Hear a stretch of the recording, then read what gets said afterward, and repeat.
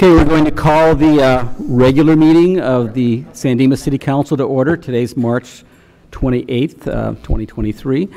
And um, the first thing we're going to do, you might notice Emmett Badar is not here, so as Mayor Pro Tem, I, I get to have this.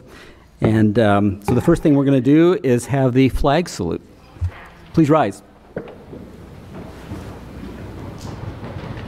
Ready? I pledge allegiance to the flag of the United States of America and to the republic for which it stands, one nation, under God, indivisible, with liberty and justice for all.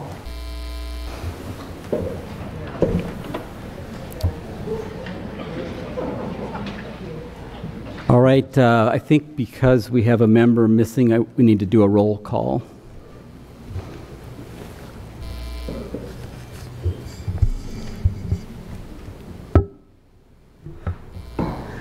Council, Council Member Nakano. Present. Councilmember Weber. Here. Council Member Vienna. Here. Mayor Pro Tem Ebner. Here. Okay, Uh, The record will reflect there is a quorum. all right. And again, Mayor Badar is, is uh, absent today. Um, I'd like to welcome everyone to the city council meeting, everybody here in the chambers, and there's a lot of you here, and everybody at home on uh, watching streaming or, or uh, on TV. Um, I'd like to mention, um, we have an agenda packet, and if those of you at home or anybody with a tablet or a phone on here can follow the agenda packet on the city's website. So if you wanted to find that, you can go to the San Dimas website, sandimasca.gov. If you just search for agendas and minutes, it'll take you to where the agenda packet is, so you can follow along if you'd like. Um, let's see, the first thing we have is a presentation from um, the California Department of Insurance. Do we have a representative? Okay. And can you uh, identify yourself for us? Yes, so I'm actually not Armene. My name is Andrea Valdez. I came to fill in for her. Um, I was actually excited when she asked me to do this one. This is my hometown. Grew up here, went to San Dimas High School. My parents are in the back, so they're really excited to be here tonight. Right. They are thrilled. Riverside County is my area, but when she asked me to come do this, I was like, I'm going to come on back to my favorite place. So, again, my name is Andrea Valdez, and I work for the California Department of Insurance. I'm an outreach analyst. I'm very happy to be with you and your constituents to give an update on the work we've been doing on your behalf. Next slide. So, I'm going to start by giving an overview, overview of the California Department of Insurance and the role of the insurance commissioner. Currently, the insurance commissioner is Ricardo Lara, and under his direction, the department uses the authority to protect Californians from insurance rates that are excessive, inadequate, or unfairly discriminatory, make sure insurance companies have enough funds to pay claims, set standards for agents and broker licensing, perform market con- conduct reviews of insurance companies, ensuring they are compliant and in good standing, resolve consumer complaints, and investigate and prosecute insurance fraud. The one thing we cannot do, however, is require or compel insurance companies to sell insurance to a particular person or community. And sorry, before I got excited about being here, this is Safer from Wildfires, our presentation. Next slide, please.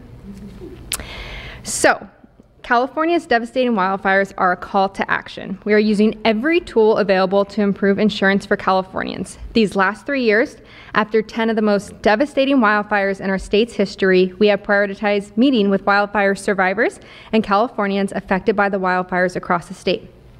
The commissioner had us get out of our offices and get out to meet with all of you. Throughout the time, we've met with more than 60,000 people and 58 counties to hear all about your concerns around availability and affordability of homeowners insurance because we needed to take it all in to consider it before we started looking for solutions. And of course, the very first thing we learn is that wildfires are not just a Northern California issue, it is a whole statewide issue. Next slide. Learning from you and our first responders, we tackled the immediate need. The commissioner started working with legislator on laws that helped wildfire survivors, including increasing payouts and benefits as well as increasing coverage for building code upgrades. If consumers were experiencing losses, they should receive the benefits they paid for with their coverage.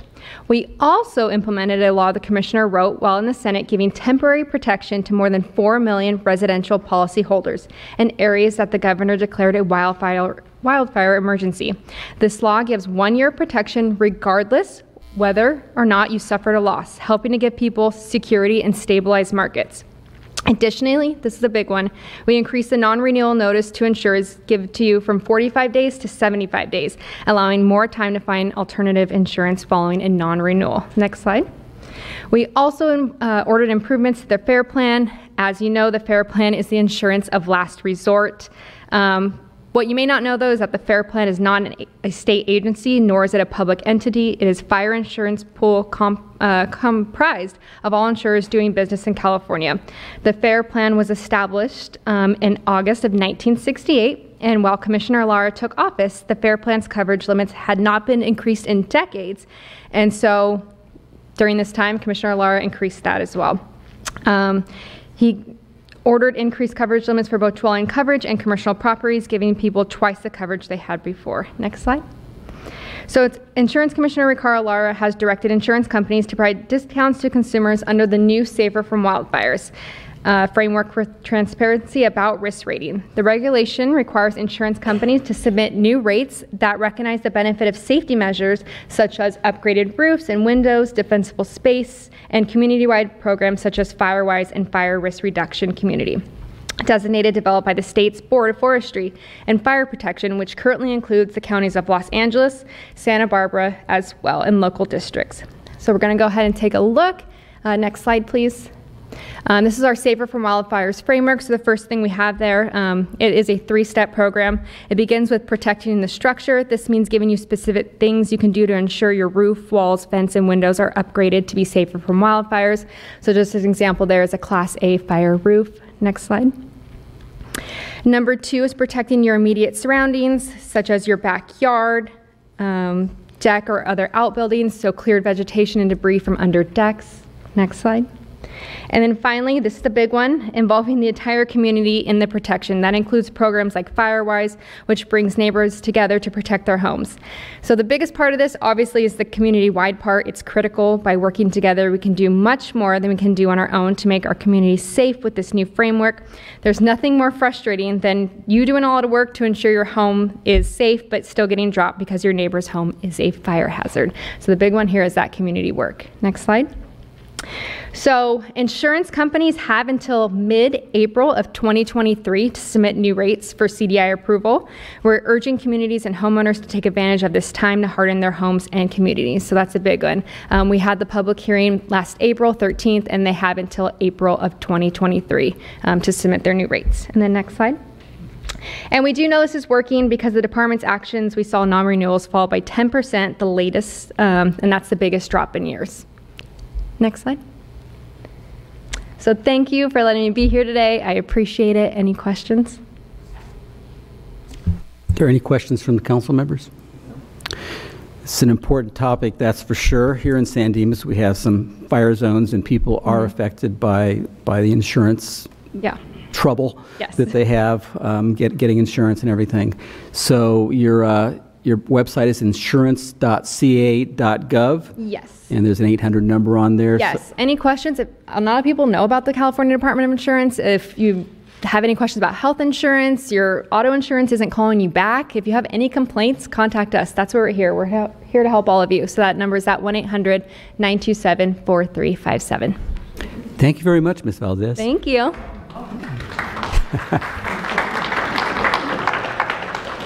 Okay, our, our ne- next item on the agenda is a proclamation um, for the DMV Donate Life Month. Do we have an ambassador or representative? Yes. Why don't you come forward?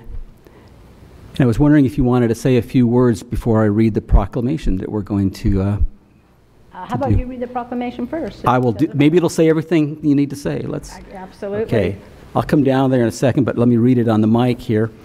So uh, this is for uh, Department of Motor Motor Vehicles Donate Life Month. Whereas the organ, eye, tissue, marrow, and blood donations are life-giving acts recognized worldwide as expressions of compassion to those in need. Whereas more than 100,000 individuals nationwide and more than 20,000 in California are currently on the National Organ Transplant waiting list. And on average, 17 people die each day while waiting. Whereas the need for donated organs is especially urgent in Hispanic, Latino, and African American communities, whereas a single individual's donation of the heart, lungs, liver, kidneys, pancreas, and small intestine can save up to eight lives, donation of tissue can save and heal the lives of up to 75 others. Whereas deceased organ donors saved more than 42,000 lives last year, the most ever. Whereas any person can register to be an organ, eye, and tissue donor, regardless of age or medical conditions. Whereas being a registered donor does not impact the quality of life saving medical care a person receives in an emergency. Whereas California residents can sign, sign up with the Donate Life California Donor Registry when applying for or renewing their driver's licenses or ID cards at the California DMV or at any time by visiting www.donatelifecalifornia.org.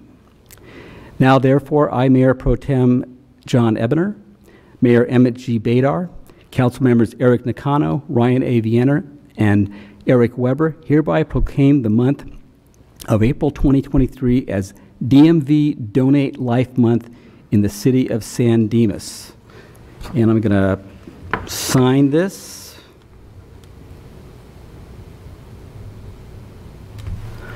And I'll meet you down there.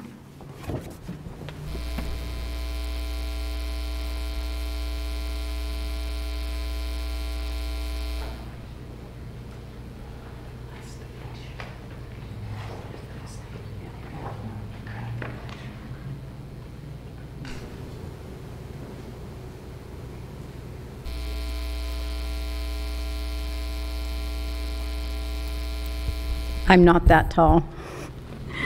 Well, good evening, Mayor Pro Tem Ebner, council members, members of the audience. My name is Cheryl Mahan, and I am a One Legacy ambassador, and I'm a living donor. the reason why uh, I want to thank you guys for proclaiming April as Donate Life Month is my family has been touched by organ donation.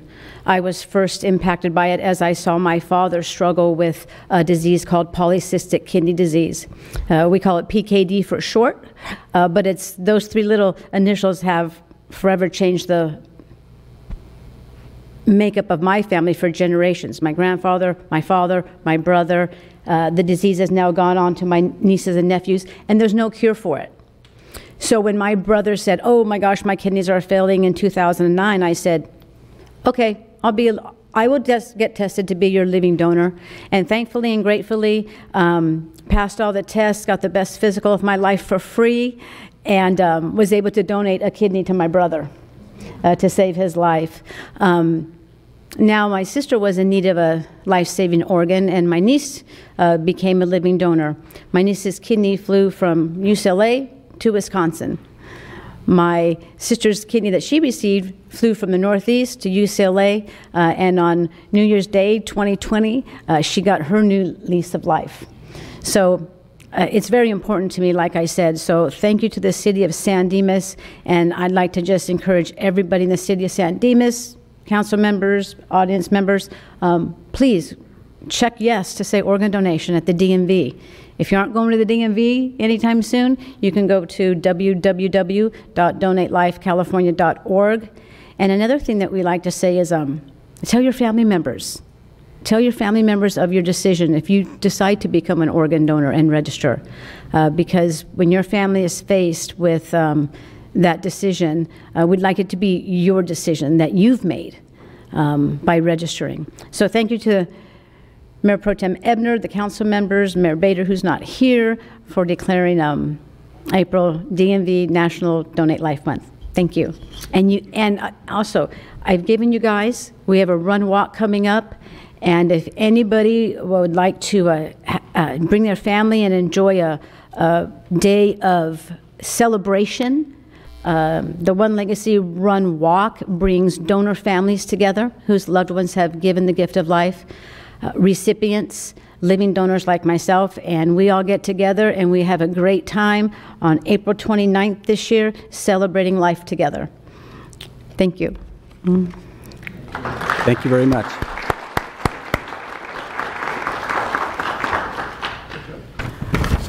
All right, uh, the next item on the uh, agenda is oral communications. Now, oral communications is a time when um, the city council uh, invites and is glad to hear from the public on things that are, are, are of concern to you. Um, The way we do it here is we have oral commu- communications at the start of the meeting, and everything that is on the agenda, you want to talk about at this time. So the couple things that are coming up about the mobile home park senior conversion and the SB 9, if you want to talk about those or anything else, you talk about them now. Or if there's something that you, that is not on the agenda you want to bring to our attention and just uh, want to tell us about, uh, now is the time to do that. You get three minutes to do that. There'll be a little timer up on the, uh, the screen there.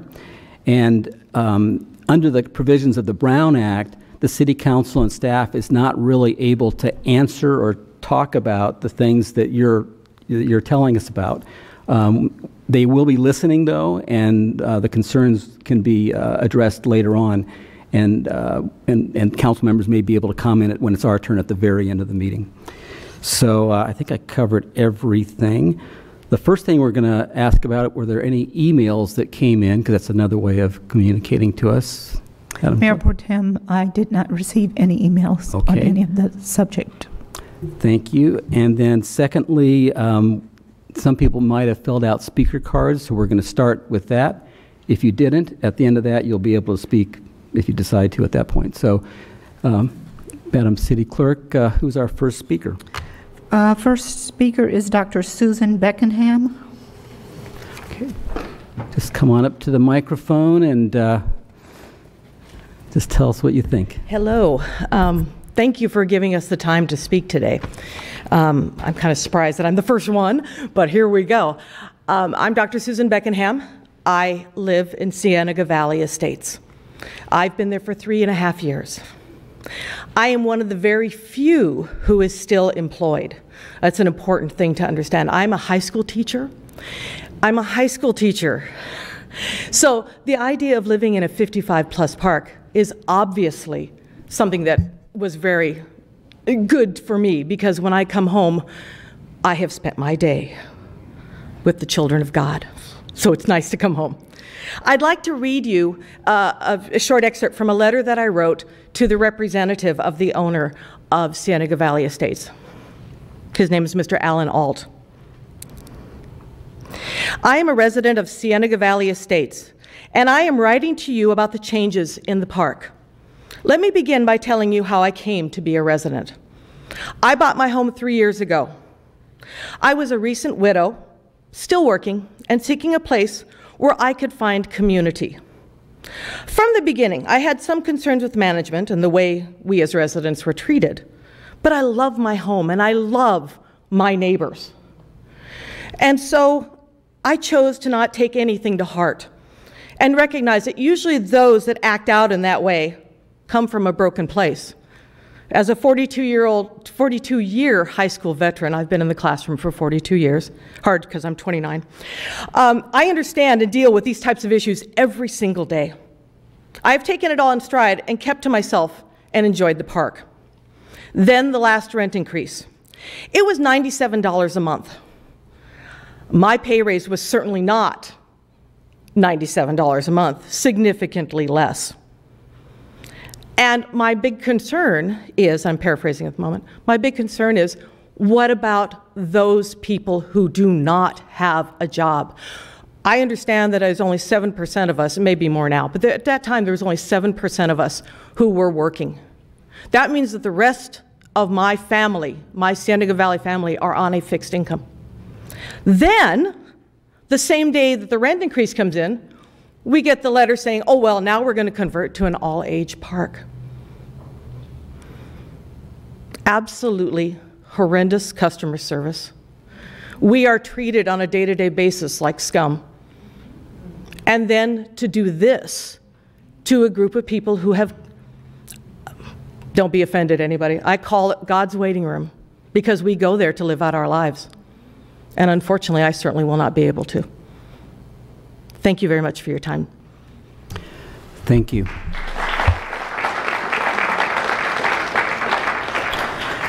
Next speaker, Patricia Martin.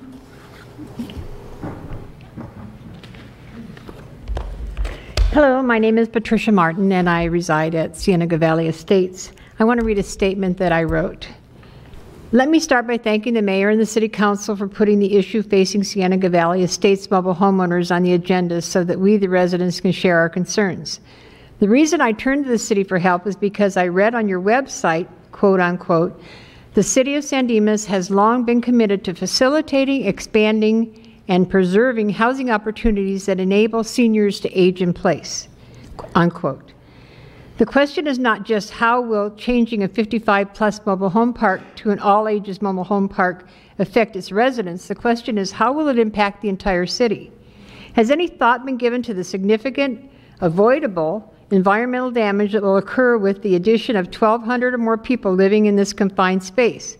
Possibly 200 to 400 or more cars idling trying to get out of one of the two gates onto the heavily traveled Cienega Avenue between 6 a.m. and 9 a.m. and back again at night. It is already dangerous to make a left-hand turn out of the park, but with the added pressure of people trying to get to work on time and get their kids to school on time, it can only get worse. Traffic could be backed up throughout the park during these prime hours. The only way it could begin to be less dangerous is if a traffic signal was installed near the gate, and then they would probably have to remove our security gates. There would also be the matter of parents taking their children to school at the same time, or children walking to school and requiring crossing guards and other means to get them safely in and out of this community. Additionally, there's just not adequate parking to accommodate any increase in the number of cars in the park. With the no parking designations on Cienega and Lone Hill be changed, there must be a safety issue, or why would it be designated no parking in the first place? Where are they going to place the multitudes of dumpsters that will be needed to accommodate up to 1,200 more people? There were recent issues with the sewers. Are the sewer lines even able to adapt to that many more people? How will our schools accommodate the influx of new students? There are four elementary schools within one mile of CVE. They have between 327 and 640 students per school.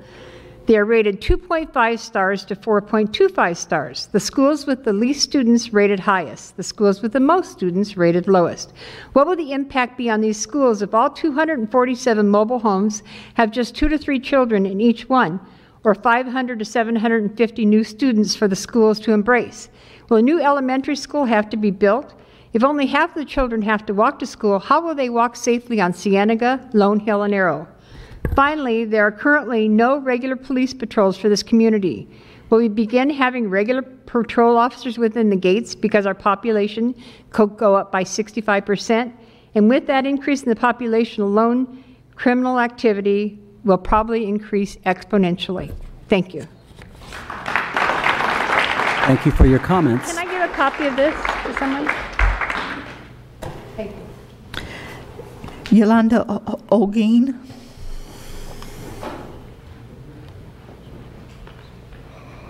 Good evening, Mayor Pro Tem, Club City Council members, and city leadership. My name is Yolanda Ogeen, and I thank you for affording me the opportunity to speak, to listen to me. Thank you to my CVE residents that are here, and everything that they have said is correct. I just want to share my feelings. My feelings are of disappointment, um, extremely sad because of the change to um, an all-age community.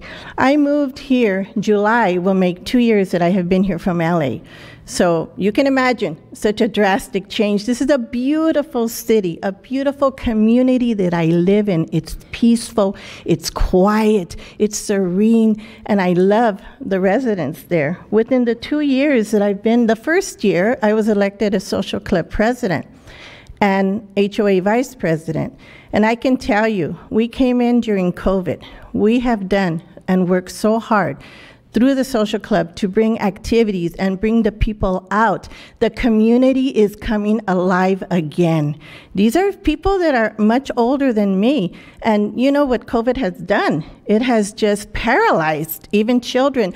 The people are coming out, they're living again, they're happy. And now that this has happened, you can see the change. You can see the change in the continents. And my goal as a social club president is to serve my community, to bring as much joy and happiness that I can to them. I don't know what the outcome will be, but I will continue to serve them as that is my responsibility.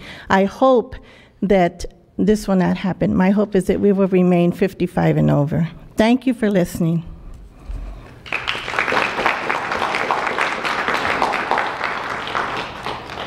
Bill Beebe.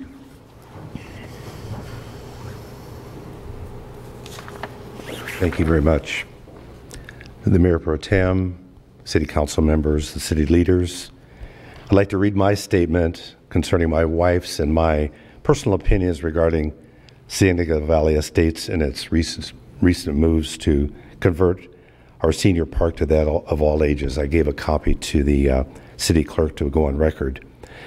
My wife and I purposely did not move into an all age park because we wanted a quiet place to live out our remaining years, and hopefully it's a lot of remaining years in my case. We saw the CV, uh, CV, Cienega Valley Estates during our first visit, so the change is a disappointment. But I think the larger disappointment, however, concerns about how the process took place. We were noticed in writing of a meeting, all according to protocol. The meeting start off, started off on a negative tone, and it went downhill from there. Since it was conducted by, frankly, all the wrong people, the ownership failed to come. Now there's a large group here, as you can see, tonight frustrated by this change and perhaps even more frustrated because they believe their voices weren't heard during the notice meeting.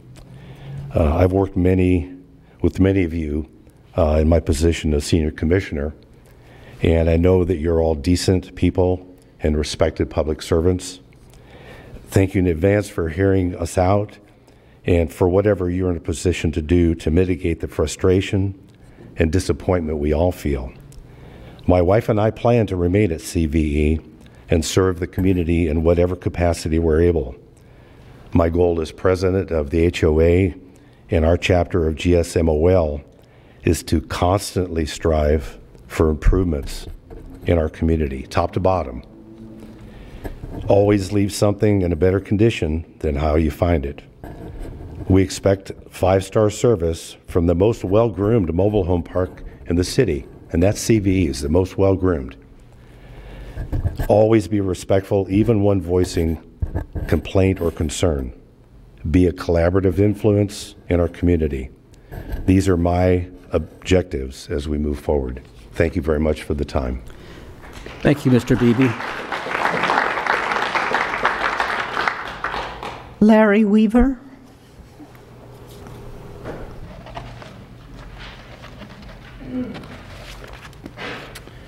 Good evening. My name is Larry Weaver. I'd like to thank the Mayor Pro Tem and council members. I am today the representative of the ownership of the park, and I'm here on their behalf. I'm an attorney. I've represented mobile home parks for 40 plus years. This is something we've done in, in many, many parks. One of the questions that comes up often, and I see I'm limited on time, is well, why would we do this? Why would we change?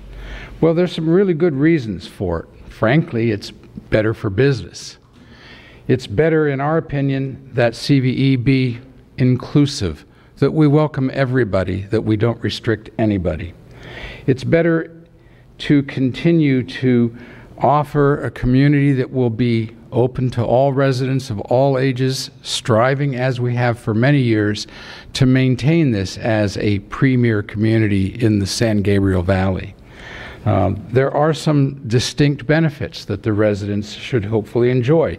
Number one, despite what sometimes is mischaracterized, this change is very gradual. I've been involved in many conversions of communities. It doesn't happen overnight.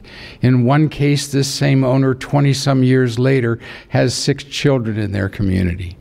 So it's not going to be something that we wake up tomorrow or the next day and all of a sudden there are 1,200 children in the community or 1,200 more residents, that won't happen. It likewise increases the pool of potential buyers when a resident goes to sell their home. Now, what's the benefit there?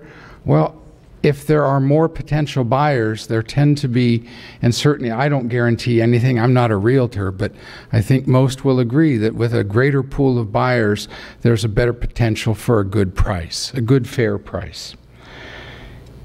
It also benefits the residents upon their passing and their heirs. An heir will now have the opportunity to not only inherit the home, but to potentially live in the home. They still would have to qualify, but they'd have the opportunity to live there. Now they don't have that opportunity. The decision to change is, is provided by the mobile home residency law, part of the civil code. My clients followed that exactly. They gave all the proper notice, they had the meeting, they gave more notice. And it can be effective in two ways. After that meeting was concluded and the, the additional notice was sent out, including the new rule, it can be effective immediately with the consent of the homeowner, or by law, it will take effect six months thereafter. But just as important, I'd like to point out some little fact somehow seems to be overlooked. Every homeowner in this community has a packet of residency documents, and one of those documents, as part of the park rules and regulations, says specifically owner reserves the right to amend at any future time for purposes. Oh, le- excuse me, uh, members of the audience, please be respectful. We'll give you 15 more seconds to wrap Well, up. if I could just read this, it, it, it might Um, take I- more. I- It's short. We- I think we can't give you that much time. You- If you got 15, 20 seconds, go ahead. Purposes of converting to an all-age community, owner does not represent or promise that the community will always be, remain, or operate as housing for older persons. Okay. Per- So that was something Thank that every you, one of them. thank you said. very much for your comments, Mr. Weaver. Thank you very much. John Strain. And and as John makes his way up, yes, we, we're all just listening now, so please, no uh, comments from the audience as well, unless you uh, talk outside. Uh, Thank you for, uh, thank you for this opportunity to address you. I happen to work at Cal Poly Pomona, and my wife and I moved up here about back in 2017 so I could go to school here with the intent that we were going to move back to San Diego, but we fell in love with San Dimas and the park we live in. The only problem is that like you've already heard, that they're switching to an all-age park. Now, I can understand it's business, but in the comment that the attorney just made is that, um, you know, every time that someone sells or moves out, they keep getting paid. So it's not a chance that they don't get paid, the owners. There's no breaks on the rent. So even if you have someone who's buying or someone that's not buying, they always get paid the rent. Um, one of the things I ran into is that um, sometimes the rules change and we have no idea that the rules change until all of a sudden they pop up and they've changed in front of us. Um, but the other thing is that, you know, in a few more years, when I get done working at Cal Poly, um, my wife and I plan on moving. So I understand the, the bigger pool of, of people coming in and buying the houses. Um, that's understandable, but, you know, we give up that, that livable, that senior community. You know, that's the thing that we moved in for. We moved here for the chance of having a nice, quiet community. Um, as the attorney said, that, you know, um, he doesn't foresee us having a big turnover of kids right away. Okay, what if we, what if we do? We have big wide streets, we got big playgrounds there. We got lots of kids coming in to play. You know, there, there goes our neighborhood. So one of the things I'd like to point out is that this is our neighborhood. This is what we moved there for. This is San Dimas. This is a retirement community. And to turn around and pull it out from underneath us, you know, they get paid every month. They get our, our rent checks every month, regardless if someone's living in that house or not. So thank you very much for your time.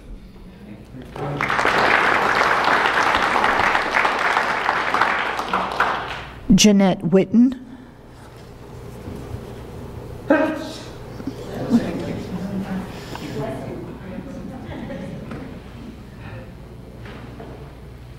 Good evening. My name is Jeanette Witten, and I live at Do you want to pull Valley. that microphone down just a little bit? Oh, Hey, John. Blame John. How's that? Is that good? That's better. Thank you. Okay. Thank you for listening to us tonight. Really appreciate it. Um, so many things to say. Uh, I'm going to try and keep it a little bit short. Everybody that has been up here so far, uh, ditto everything that they've said. In 1977, my mother and father moved from Michigan, moved into Cienega Valley Estates. It was a senior park at that time. Mom used to brag about, we're in a five-star senior living. We love it here. Can't wait, you know, for all you kids to move out to California. Years later, we moved out to California. 10 years ago, I moved into Cienega Valley Estates. My father is still there. He's going to be 100 years old this year in September. He lives three houses away. Never in my wildest dreams, I've been there about 10 years, did I ever think that this would not be a senior park. Yes, we do sign an agreement that says they can change it at any time, but after my folks living here since 1977 in this park, moving in 10 years ago, never thought that this would happen. Um, being at this age and having the security of living with people that are close to your age is you, you can't even you can't imagine until you get to this point in your life um, that how important this is. Um, it's a great community. San Dimas is a great um, town to live in. This is our home. This is our security, and uh, it's it's just really a shame what's happening. I can't think of any more to say, um, but if anybody else wants to take my last minute, you're welcome to, to take it and uh, add to what you've already said. Thank you so much. Um, what's happening, some people say it's not fair. Fair has nothing to do with, do with it. It's wrong. It's just 100% wrong. There's right and there's wrong, and this is wrong. Thank you. Thank you for your comments. George, George Oaks.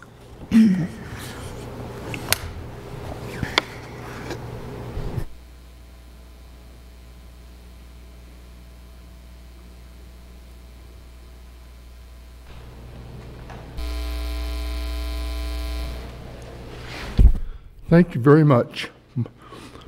I live in Cienega Valley Estates. I moved there about five to six years ago. Uh, when I moved there, they promised me, they did, that this would always be a senior park, five star. And I had a chance to look around before I moved there, and I looked at a lot of different parks, a lot of different cities. I moved from uh, Newport Beach area up here to be closer to my daughter who lives in San, uh, Chino Hills. And this is the closest place I could find that I thought that I would be happy at. Now, Cienega Valley Estates is a beautiful place, and I checked around San Dimas, uh, and it's a great city to be in. I, before the, uh, we had the pandemic, uh, I was very active in the senior center here. Uh, went to play the games, attended the meetings, and since then I haven't been able to, but I fully intend to start up again. Being uh, a senior park has been a, I've been able to really enjoy my time in San Dimas.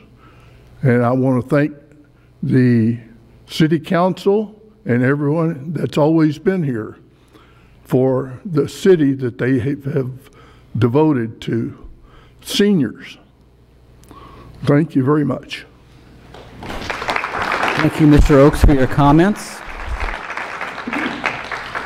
Kathy Amston.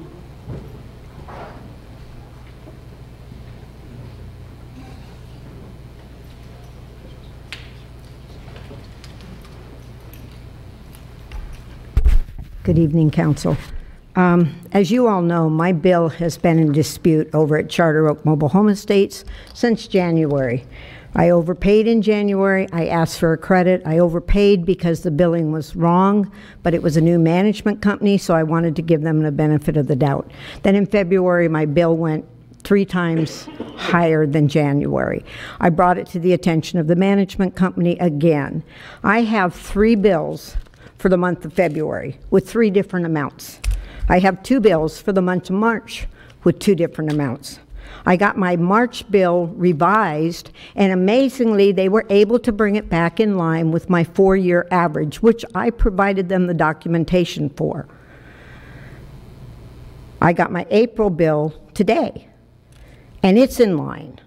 But here's my concern. I got a letter from John DeFalco's billing company, and I quote from her letter. I am speculating that when you started using a different source of heat in your home to reduce your gas bill. I don't heat my house with gas. I heat my house with electric space heaters. So based on his billing company's speculation, John DeFalco writes, "It is our opinion that the gas did go through your house, and that when you saw how high your bill was, you began to conserve." So in essence, they're calling me a liar. I don't appreciate it. I don't appreciate his intimidation tactics and his bullying. Then, to add insult to injury, they decided since I haven't paid my bill since February, that they would take my $1,766.36 credit balance and apply it to the balance that they determined was accurate. That is unethical. John DeFalco has been in business, according to his testimony, 48 years. According to his own words, they had no billing documentation to go off of when they started working in the park. And yet, all of a sudden, he deems it's appropriate to just take his word against mine and take my money from me. This is unethical. As a city council, I know some of you are working hard to try and resolve this issue. This is four months in. This is not acceptable. You guys have got to jump on this and get it fixed. Either that, or you need to get rid of John DeFalco's company and find another management company that knows how to manage a mobile home park, because this is not fair to the residents. Thank you. Thank you for your comments. Nicole Simeon?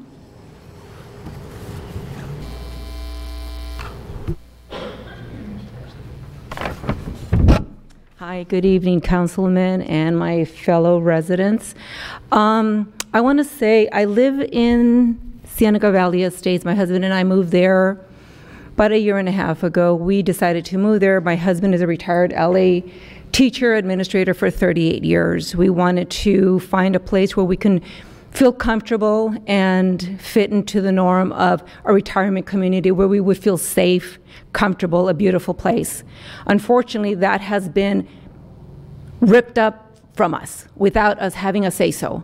My concern is I've been in the medical field for 35 years. How is that going to affect our residents mentally, emotionally, physically? When we have residents who are ambulatory now, who can feel safe in our community, walking, conversing with our neighbors, that's all going to be taken away. We're going to have to deal with now with minor children, adults who have maybe no respect for our morals that we grew up with. Mr. Weaver, I'd like to address one question that you've never answered to any of us. How are we going to be protected? Where is our security? Where, how are we going to feel safe again? There is only one manager on the premises, two maintenance person. So if we have a 17-year-old gentleman playing loud music, we're going to call one manager, one manager for over 240 residents. Where is our security? Where is our um, ability to say, I feel safe? How is that going to happen? Nothing has been discussed about our safety, our privacy, our enjoyment.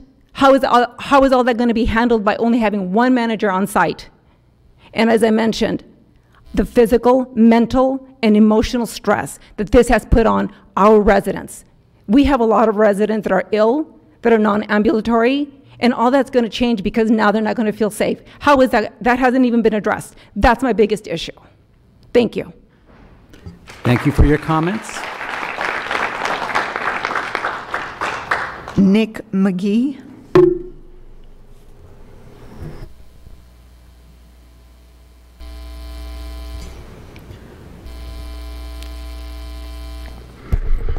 Good evening, council and staff. My name is Nick McGee. I'm a resident of San Dimas, and I currently serve as treasurer for San Dimas Little League. I come here tonight in an effort to ensure your awareness of some of the safety issues that we've recently been experiencing at Marchant Park. My sincere hope is that the city and league are able to work together to create an environment that is safe for use by all residents. As you may already know, since the scheduled closure of our actual dog park, there has been a considerable uptick in the amount of residents who are utilizing the baseball fields at Marchant Park as a dog park. The natural enclosures of a baseball field make them a great replacement for a dog park, and there's plenty of space to launch a tennis ball if you want to play fetch. With that increased usage, however, there's also been an increase in dangerous interactions between the league participants and the residents who are using the field illegally by allowing their dogs to run around off leash. That is what brings me here tonight. On March 26, my six year old son was on one of the baseball fields waiting for me to bring our baseball equipment from the car for a workout. As I was walking near the bleachers on the third base side of the field, I noticed a man walking his dog off leash outside of the field and carrying a tennis ball towards the first base dugout. As I realized he was heading towards the gate to enter the field, I yelled towards him not to bring his dog on the field because we were having a baseball practice. He acknowledged what I said with an okay, then proceeded to throw the tennis ball across the field towards the third base coach's box where my six year old child was standing. Not surprisingly, the dog went tearing after the ball. You can imagine my fear as I saw an 80 pound dog that I'm not familiar with running full speed towards my six year old. It was terrifying, and not knowing what that dog's intent was, and maddening that an animal owner could be so reckless. That's not something that a parent should have to endure at a baseball field, a city park, or anywhere else. Alarmingly, this comes on the heels of a separate incident that occurred on March 12th at the exact same location. In that encounter, a German Shepherd, who was also off leash and running on the fields under owner supervision, aggressively charged at a board member and his six year old son when they opened up an access gate trying to enter the baseball field. Fearing for his child's safety, the board member shoved his child off the field, took a step back himself, and slammed the gate in the dog's face just before the dog reached them. When the dog crashed into the closed gate, the dog's owner had the audacity to scream and curse at the board member as if they were the one in the wrong for protecting themselves and their child. I encourage the city in the strongest possible terms to continue to expedite their work with the league in trying to find a solution to the ongoing and escalating issues. We don't need to wait for someone to get bit to see that there's a problem. Please do not let tragedy be our call to action. The Board of Directors at San Dimas Little League stands ready and willing to work with the city however they see fit to address this issue. Thank you for your time and your consideration. Thank you for your comments, Mr. McGee. Mayor Pro Tem, those are all the speaker cards. Okay, is there anybody else in the audience who wants to speak? I see a hand raised. I see a couple people. Have a race to the microphone there. I think Margie's going to get there first. I walked fast. I just have a happy thing to talk about. Two different events coming up. Uh, I'm Margie Green. I'm president for the San Dimas Historical Society at this time. And on the second Saturday of every month, we have a walking tour, a free walking tour of downtown historical society, historical buildings. Uh, we would love to have you come by. The Historical Society will be open on the second Saturday from 10 in the morning to 1 in the afternoon. Come by, visit the Walker House up on the second floor. Uh, for the uh, walking tour, meet on the veranda at uh, 10 o'clock. It'll take you about an hour and 15 minutes. Then you can enjoy upstairs just as well. We have a museum. We can answer questions. We have a gift shop. We'd love to have people come up there and visit. We try to be part of the community and share our knowledge with you. And that's the second Saturday. Now, on the third Saturday, the city's going to be doing a cars and coffee in the parking lot behind B of A, behind O'Malley's, uh, really behind the Walker House. So we're going to be open at the Historical Society from 8:30 in the morning until noon, the third Saturday, to go along with cars and coffee. So please come on by and enjoy the second story. Uh, museum gift shop will be open then. We will not be doing the tour that day, but we'll certainly talk to you about the building and what we're doing for the city and Maybe you have some suggestions. So it's all free. I'd love for everybody to come by and visit us and make good use of that Walker House. Thank you. Thank you, Mrs. Green, for that valuable information.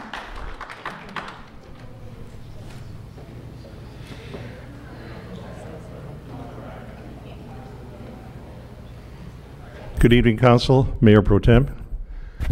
I'm uh, live in uh, CV, Cienega Valley Estates, and uh, just reiterating what everybody else said, particularly the doctor here as a fellow educator. Uh, Fortunately, I'm retired now, but um, our concern, as my wife was bringing up, was just the health and safety and welfare of our, of our citizens. Very good people, very wonderful people that we have been enjoying for the past uh, little over a year and a half. And uh, with that being said, uh, having uh, been a teacher and having basically all grades, including uh, adult school, uh, I know what the doctor is saying about teenagers and about uh, just uh, overall uh, reckless behavior, so to speak. I was a dean of uh, students. I dealt with discipline for 14 years as well. And I can see what's coming. And it's very disheartening to be able to uh, get that through my head that uh, there's 100% guarantee that something, somewhere, somehow, is going to occur where one of our citizens in CVE is going to be um, affected by this. Not to mention the smaller ones, and I know the smaller ones, if you have them, they've uh, been, uh, um, they're uh, mischievous by nature, and they're going to be running around doing things back and forth, and uh, heaven forbid a car is coming down one of the streets there, and somebody just darts out, and uh, uh, I don't have to tell you what uh, the result could be of that. But the safety is really a big concern. And uh, not only that, but maybe our seniors, as somebody mentioned, they'd be going out and um, um, walking, doing what they normally do, or doing what we do, and uh, having uh, somebody coming through, speed bumps and all, uh, just uh, plowing through and uh, not seeing somebody. So that is my concern, and I'm speaking on behalf of all the other wonderful people that I've gotten to know, that my wife and I have gotten to know, and really enjoyed. Uh, We've been San Dimas residents for quite a, quite a while now. We used to live up in Villa Verde, and uh, we actually like CVE better. So we're hoping it stays a 55 and over community. Thank you. Thank you for your comments. We have another speaker.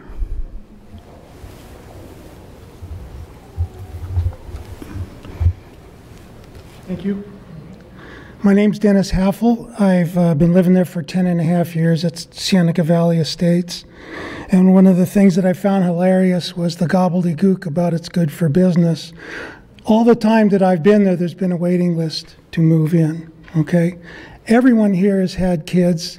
They're all in this park for a reason. You want peace and quiet, okay? And okay, so you're going to get six or seven kids in a year. That's like saying only 10 people died in Vietnam, but if you're the one whose kid died, you know, it's you. If someone moves next to me, I'm not worried about anybody else. Now I'm screwed, excuse the expression. And I like having the locked gate there. I drove petroleum tankers at night for many years, and uh, it's a whole nother world out there, the people, okay? A whole nother world.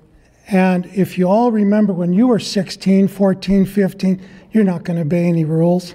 You're going to flaunt them. You know, you're going to make a lot of noise. I ride my bicycle all around the park every day, two, three times a day. Thank you for not hitting me yet. and uh, that's going to change. Uh, that's really going to change. That's not even going to be enjoyable. And I just don't understand how a certain group of people can work all their lives and we're just asking for peace and quiet. And this, this gobbledygook about money and business and everything, who cares? Go somewhere else. Because a lot of people are here because they've worked hard, they've run their race, and they want to be left alone. I want to be left alone. So, I don't know, that's about all I can say. I'm really pissed, but I'll just keep it civil. All right. Thank you. Thank you for your comments. Is there anybody else who wants to address the city council? So I don't see anybody uh, coming up. So we're going to, by the way, that, so there's a, an agenda item coming up. If you want to stick around to hear the city council discussion, uh, it'll be in a few minutes or a little while about that. Um, so we're going to move on to the consent calendar. Um, and if you're following along, this is page 15 on your agenda packet.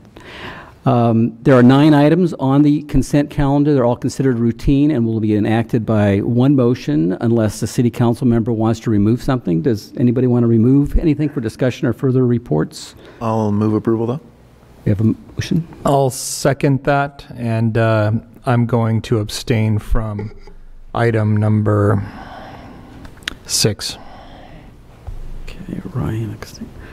All right, we have a motion and a second. Uh, Do we have to take a roll call vote, or are we okay with? A roll call is not needed. Not needed, okay. All those in favor, say aye. Aye. All opposed, no. Um, It carries by a vote of four ayes, zero noes, and one absent, being, being the mayor. And the one abstention from me on And the- item number six. Yes, thank you, Ryan, for uh, saying that a second time. Thank you. Yeah, thanks. Okay, that's the end of the consent calendar. We're now going to move on to other business. We do have a couple items under other business. Ryan? Um, Mr. Mayor Pro Tem, I'd like to propose, in light of uh, the interest in the community, to take an item out of order, move item number two uh, to be considered now, and then uh, subsequently item number one afterwards. Is there any objection from the rest of the city council? None. Okay, then we're going to move to what is number two under other business, which is discussion and possible direction regarding conversion of Cienega Valley Mobile Estates home, Mobile Home Park from an all-senior to an all-age park. And this is way down there uh, on page 153. So I'm going to turn it over to the city manager for, uh, for the report. Thank you, Mr. Mayor. In terms of uh, the request, at the last council meeting, uh, two council members, as per our policy, made a request to agendize the possible uh, direction to staff regarding a conversion of a senior-only mobile home park, Cienega Valley, into an all-age park. Uh, Normally, the request that comes before you is just a simple one or two line, this is what was asked, and then the council would deliberate and determine whether they want some additional information or action to come forth. But we had completed some additional information prior to that request within the one-hour limit, and I felt that it would be beneficial to provide that information in the staff report, articulating just some of the details that were available. Uh, What I've laid out were um, some exa- uh, an identification of a city that actually had taken an action to implement an overlay zone. That was the city of Antioch that restricted mobile home parks to uh, senior only by zoning. Um, also provided in the staff report is a uh, attachment to the mobile, um, the MRL, the uh, the mobile home uh, regulations uh, that are administered by the house, the State Department of Housing and Urban Development that talks about fair housing and concerns about ensuring not to discriminate against families when it pertains to housing. And what I also outlined, uh, not knowing the direction of where the council was going to go, uh, a number of areas, they're not all inclusive uh, for consideration uh, in terms of drafting policy, deciding on what action to give the direction to, and it pertains to you know legal implications of any action the city may take, some policy implications by the uh, virtue of the action, some economic impacts that could occur from that. And if the council's desire is to pursue any course of action, my strong recommendation is to request the city attorney to do an assessment as to whatever that direction may be so we can fully understand the parameters of what would be allowed by the city and what concerns or risks, pros and cons should be taken into account. And so with that, I'll turn it back to you, Mr. Mayor, to discuss uh, what direction you want to provide. We do have a, uh, a written report that um, Mr. Constantine provided. Are there any questions of Chris, or we can go straight to comments? Anybody? I think it might be helpful, Chris, if you present um, some of the staff report for the benefit of the public. Absolutely. So what we have to understand that in the case, in this case, this mobile home park is actual private property. Turn the volume up a little bit.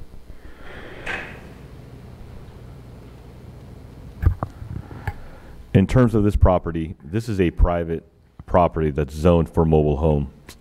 Um, It is in some ways the same as residential property that we have in the city. In other ways, it's different. Mobile home parks are overseen and uh, the regulations enforced by the Department of Housing and Community Development with very little regulations that are enforced, that are enforceable by the city. We can't repeat regulations at the city level that exist at the state level, so a lot of the uh, administration goes through the state. In terms of conversion from an all-senior park to an all-age park, it is strictly discretionary on the part of the owner. And there was concerns as I talked to residents about the city taking an action to allow Cienega Valley to make that conversion. The city took no action to allow any conversion. In fact, we don't have the authority to act to allow a conversion of that nature, and so therefore we never took any action. It was a decision that was discretionary on the property owner. It is a choice the property owner has, and in a lot of cases, these choices are economic, um, policy, and other implications as to what is necessary for the ownership. Um, in discussing some of this with the owner, owner ownership, uh, one of the areas, and I think it was identified by their attorney, uh, was a, is a business decision. And so the discussion centered around back in 2008 and 2009 and the economic downturn, uh, demand for housing or demand for mobile home parks went down. And so when you look at a mobile home park that restricts the population that could access that mobile home park, in this case a senior park, there was lower demand in the area of seniors versus the areas of all age. And so for this ownership, there was significant impacts associated with the viability of mobile homes. And so therefore, this owner decided to start making conversions from senior to all age parks. Um, I raised a concern with the ownership about concerns that the goal was to just eliminate seniors from the park, and that was not the intention. That in fact, any conversion takes a very long period of time. However, we don't control the actions an owner would take. And so it really is about, uh, incumbent upon how they act in terms of any type of conversion. For us as a city, um, the history we've had has been very reticent to take an action to restrict a private individual's right over their property. And so some of the examples I use is we implement restrictions on single family homes. You know, if we try to act and implement that restriction, there's severe pushback about government intruding in the public's inter- in a private matter of what I can do with my property. And that's something that the council has to weigh the value and rights of a private individual with the public benefit of taking an action that then restricts that private right that that individual has. And while today we talk about a mobile home park, that type of balance is the same balance that you would have across any private property, whether it be a single family home, multifamily, business, commercial, or industrial, that you grapple with anytime there's a request that comes before the council. In terms of the legality, I, I know there is some case law, but I won't speak to that. That might be something that is analyzed if we decide to take further action about the balance between not discriminated against um, families in terms of the provision of housing. However, there is case law that supports you can't put restrictions for seniors only on mobile home parks. However, there is the countervailing balance that we've talked about that our community is a community or this region is a community where our children can't afford to live in the communities that they grew up in. And so you have parents that have homes in the community. The value of the homes have gone up tremendously, and the kids, after going out to school, coming back and getting jobs, can't afford housing within the city. And so, from the premise of analyzing a mobile home park, it is an affordable option for many. In terms of the ownership's desire to make it an all, uh, all family or all age park, it is in furtherance of providing more affordable housing for families, but there is a compromise and a detriment to those that are seniors by reducing the potential for senior housing, which is also another concern and interest of the city that we have to weigh. In terms of the economic and rationale, we're very fortunate, fortunate in our community that we had voluntarily voluntary agreement between owners and residents to implement a mobile home accord many years ago. That mobile home accord has provided effective rent control on properties that limits the increase that a property owner can put upon residents. It is a voluntary accord. And so in terms of analyzing the policy trade-offs, we also have to bear in mind that that mobile home accord expires in 2006 and to ensure that it's renewed or continues I'm sorry, 2026. And to ensure it's continues, we have to understand that if you take an action against a private ownership, it may increase the risk that private ownership will not agree, agree to continuing a mobile home accord, which in which case eliminates some of the protections that we currently have on our mobile home park. That is another consideration you have to weigh in any direction that you will provide. And while there's a few more details there, I think that's a, a good summary of some of the issues that were raised in the staff report. Chris, how many of the mobile home parks, and I was looking through the accord, how many of them are 55 and over?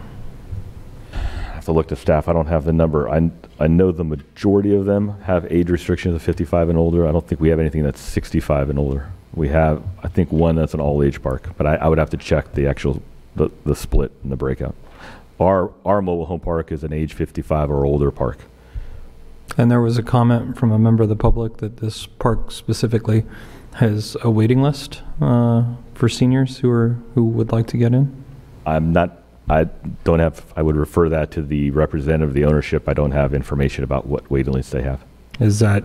Can we do that? We can. I, I can't speak to our um, assets. We do have Monte Vista Senior Apartments, which does have a very significant waiting list. So, in terms of our community, there is a there is a high demand for senior housing, and we see it with our properties. Uh, but I can't speak to them, so I, I, would defer that answer to their ownership. I, think that uh, well, we know. I think Lone Hill is an all ages park, if I'm not mistaken. Um, the other four, we know two are senior and I'm not sure about Mobile Land and um, what's the other one? But the two over there on on uh, Covina Boulevard. Um, uh, not Charter Oak, uh, the other one farther down uh, near the edge of the city. The two across the street from one another. But uh, any other questions of Chris right now? Chris, you Chris, you had mentioned that uh, there could be state laws that make an overlay complicated. Uh, I wondered if you could talk a little bit about how Antioch was able to do that. If if there are, did I misunderstand that? No, I, I, I, the direction was we need to do the analysis to whatever direction we're going to take. Antioch implemented in 2019 an overlay. I'm not sure if there's been a challenge to that. They had implemented an urgency ordinance twice prior to that, but the 2019 was the actual formal implementation of a code change to make that restriction. And that's the only uh, case study that we know of in California that's done that? No, that's that's one that I found within the limited time that I'm allowed to do research prior to Sure. getting direction from council. So, so there may be additional cities, we, we just don't know. And then, um, and just so the audience understands, um, the council has not given direction to the city manager or anybody else to do a lot of research. And so we're typically limited to an hour or so of staff time when it's something coming from a council member, even a couple council members that's not in a meeting. So tonight's meeting is to decide if we want to do something further. Um, so um, I, I had a couple questions, and Ryan, you asked one of them about how many are, are senior only. Um, and Eric Nakano, you asked about Antioch, so thank you. Um,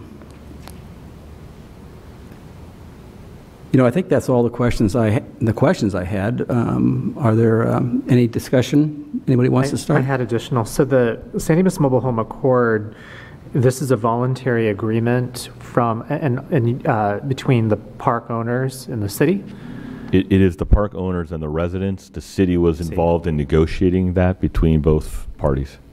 I see. And what's the incentive for park owners to be a party of it? I mean, what, what, why would they want to limit voluntarily capping their their rates? I'm just trying to understand what the you know what the incentive was for that. For the potential of not implementing citywide rent control. I see. Got it. Okay. Right, and that mobile home accord has other, other things about pass-throughs, certain things that they can actually Mhm. add to the rent. um, And so it's, it was hard, uh, hard negotiations. So I've been on the council a long time and was uh, involved in the original mobile home cor- accord. And to a point that Chris made about uh, zoning and, uh, I don't know what you want to call it, I wouldn't call it down zoning, but whatever you want to call uh, protecting mobile home parks, as I recall, those properties, at least some of them, used to be zoned simply multifamily and there happened to be a mobile home park on it because they were formed in the 1960s or whenever. And the, the trouble was, or the fear, was that the property owners were going to go ahead and demolish the mobile home parks and just put regular multifamily in there. And this was a case where the city of San Dimas in the 1990s did step in, create a mobile home zone. We might have done an overlay first, but I think it ended up being a mobile home zone that these parks are now part of, so they, they can't be turned into something besides a mobile home park.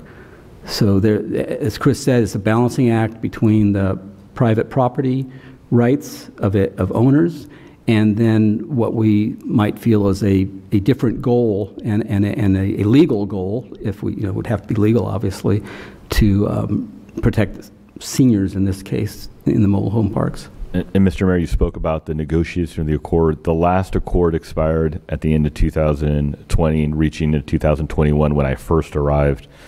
Um, the negotiations between the ownership and the property owners had stalled and potentially was going to fail. Uh, and we and that would have meant we would not have been renewing a mobile home accord. And part of the issues for the ownership centered around the concerns about what can be passed through to residents as increases. And there was concerns about if the county or the state passed through large tax increases that under the mobile home accord, none of that could actually be passed on to residents. And it's a concern from a business perspective to the ownerships. And I, I can understand the concerns because you can't control what kind of bond measures with fees are passed down to you.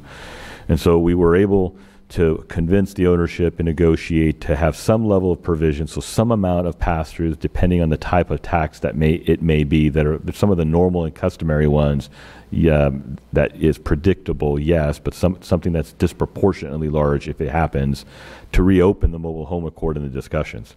And so what it offered the ownership were you're not locking yourself in for five years with the risk that some large draconian increase would pass down and you can't share that cost with residents, you have the ability to reopen the accord to actually negotiate and figure out the best way to split that cost between residents and ownerships in a way that can minimize impact on residents, but also minimize the impact it could have on the business viability for a mobile home park. And that was the linchpin that we were able to convince the ownership to sign on for another five years. I'm concerned, I'm a little concerned about now going forward, I mean, that was a hard fought one for the next five years. Any actions we take here do and most likely will have a bearing on ownership's desire to enter into another accord, or if we do, the language that they may want to negotiate into the mobile home accord, which I can't predict now what ownership would be asking for. Mayor Pro Tem, I'd, I'd like to see if I could ask a couple questions of the owner, if you are Uh, okay The with that. attorney, Mr. Weaver, I think we have a question from the council, if you'd like to come back to the microphone. Thank you for uh, indulging us for a couple minutes here. Um, One question is, is there validity to that statement a member of the public made with regards to uh, a waiting list for seniors to get into the location? I'm advised there's no waiting list. Okay. And then as it relates to public safety, uh, in my experience um, professionally, uh, all age parks sometimes have predatory behavior, s- people who are younger or otherwise a little bit more, uh, at a different stage in life, um, sometimes are problematic narcotics and other things that happen. So, uh, my question is Has the owner given any thought to that uh, as they evaluate their business decision? Um, and if they haven't, are they willing to consider that? Is, is this decision final? Uh, or is this something that uh, is being pondered and we're, we're in that six month period at this point and we're doing it? Well, I, I think I can answer it maybe in a slightly different question or, or to a different It's not Jeopardy. The, the, the comments that I've, he- I've heard are that, oh my gosh, they're going to ruin the park. They're going to destroy. Mr. Weaver, our-" I just, I just wanted to caution you. So Ryan's asking a a question, and so this isn't a time to rebut the No, other, no, I- the I other understand. comments. Uh, I'm no, not- That's, no, just, just trying to make it, I, uh, specifically, I, I don't know, but the, the ownership is um, committed to maintaining the status of the park. It is a beautiful park. They have every intent that it will remain so. They continue to screen the folks that apply that come in and that are approved. They've just recently raised that one of the standards is a FICO score. That was just raised. So the people that will, will be moving in still have to qualify. They still have to comply with the rules. The park has gone a long way towards enforcing those rules. Nothing will change in, in that regard. So that's why I say it's a slightly different answer, but I don't see that there's going to be a great change in how the park is operated. So the, so then in, in more direct terms, I guess the answer is there, there hasn't been any consideration, I guess, at least as it relates to public safety uh, for the population. Is that? To, to the extent that the rules include anything about public safety, r- uh, residents are required to drive safely. Uh, that's one of the reasons why there are some speed bumps in the park. Uh, there is the, the front gate. It's not a, a, safety, it's a privacy gate. We try to control the access to the park. None of that's going to change. Very good. And last question, uh, I guess it's just the most important question. Is there a pathway with the current ownership to keep the park 55 and older? If the city was to work with the owner? I, I don't know. I, I don't have an answer for that. Thank you. Okay. So I do have a, a, quick question for you while you're up there. Um, so, you know, as we frequently do, um, the, the city, um, we, we kind of find ourselves sometimes as mediators. And, uh, and for better or for worse, uh, that's just kind of the nature of the beast here. Um, and in this instance, uh, it seems like that there's a disconnect between the the owners of the park um, and and the residents. And so many times we look at these disagreements uh, in a binary way, which is it stays 55 and older, and it stays, uh, you know, we're going all ages, and then that's it.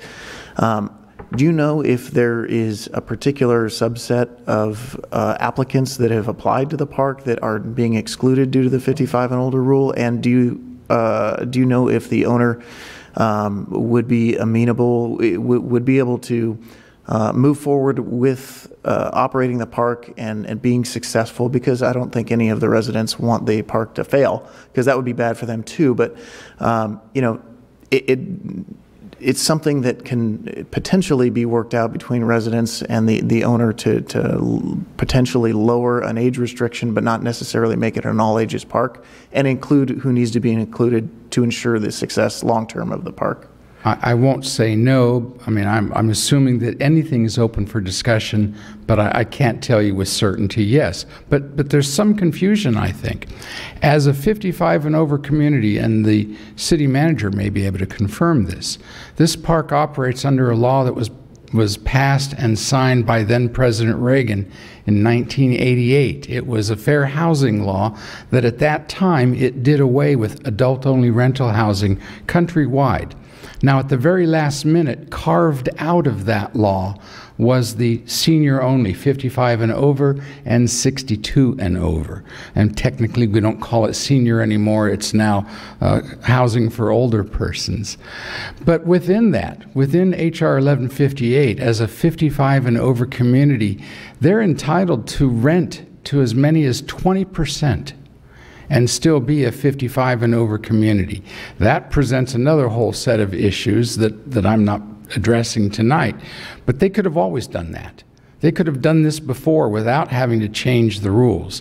This is, I think, a more fair way of doing that. But they could have always had 20% of their spaces occupied by persons that are not 55 and over.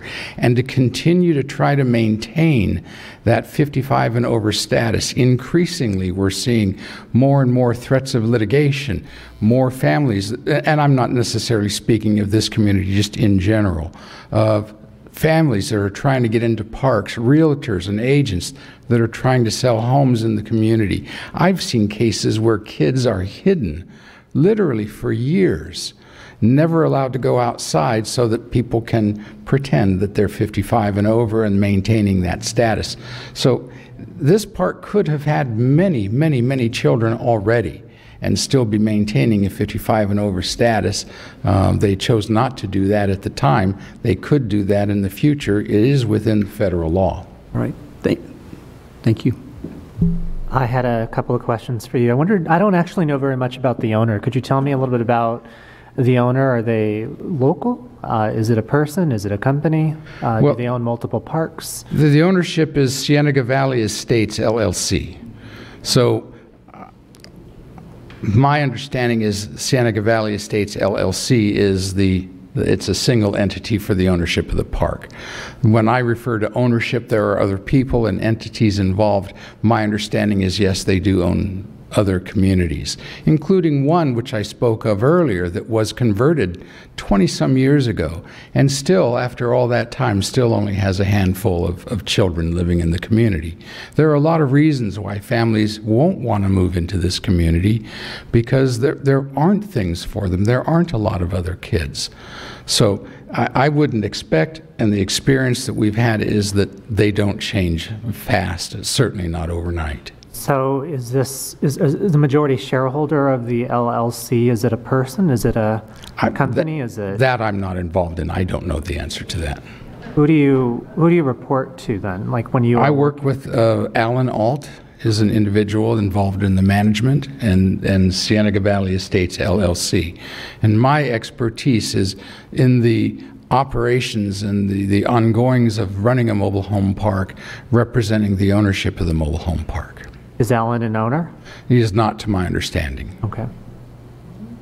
I remember Alan Alt and uh, from way back when, so I don't know if he used to own it or, or what, but, but he does, or the company does run a good park. I mean, I've, I've been there and it is a nice, nice park. They work very hard to maintain and run a good community, and nothing will change. Any other questions for Mr. Weaver? All right. I, I had one more. So Oh, I'm sorry. just- This I'm is sorry. continuing on the line of, did the ownership at all change that prompted this? Or was this the same ownership, same ratios and everything else of the LLC? My understanding is it's the same ownership. I have no further questions. Thank you. Okay, thanks. Thank you all. Okay, I, I think we should uh, discuss any direction, some direction, if any, that we want to give staff. Anybody want to offer any suggestions? Well, I'll, um, one is I don't, I don't think it's productive to move forward in a adversarial way. And I hope that that's conveyed to the ownership and gratitude for many years of working with the city and these residents to be able to keep the park the way it has been. And I think it would not have prompted such an outcrying uh, if it wasn't something that was positive. And so um, I hope that my colleagues are in lockstep with at least the expression of gratitude to the owner for working with the city and the residents for many years to do something wonderful that has provided for generations uh, to, to live there and, and um, God's waiting area, as somebody pointed out. Uh, so, um, with that being said, uh, I'd really like to see if staff would work with the owner to find out more definitively if there is a path uh, or some compromise to be able to keep the park um, 55 and older. Uh, and I and I I say that from a few different lenses, but I think um, reflecting on a conversation over the weekend with someone about this, that you know, in my profession, uh, working in law enforcement, um, in a place that had all-age mobile home parks, you know, I just I constantly going to calls for service, whether it's property stolen uh, or you know other types of things that become problematic and really negatively impact the, the quality of life of, of people living in, in that community, in those communities.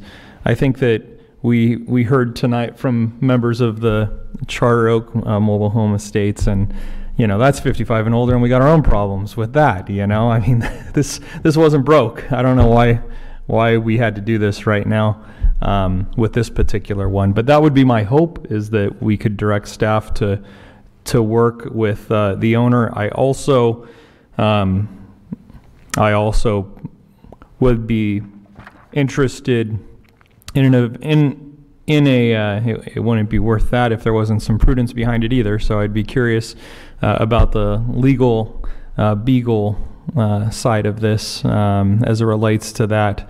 Um, I'm the first one not to be a fan of uh, government overreach and all that other stuff, but I also think that there are things worth fighting for. And uh, and you know, as many know, my my parents are elderly, and um, you know, you think about all of those things when when you talk about stuff like this. So we've always been a senior-friendly community. I think we should continue to be, and uh, I hope I hope we do that.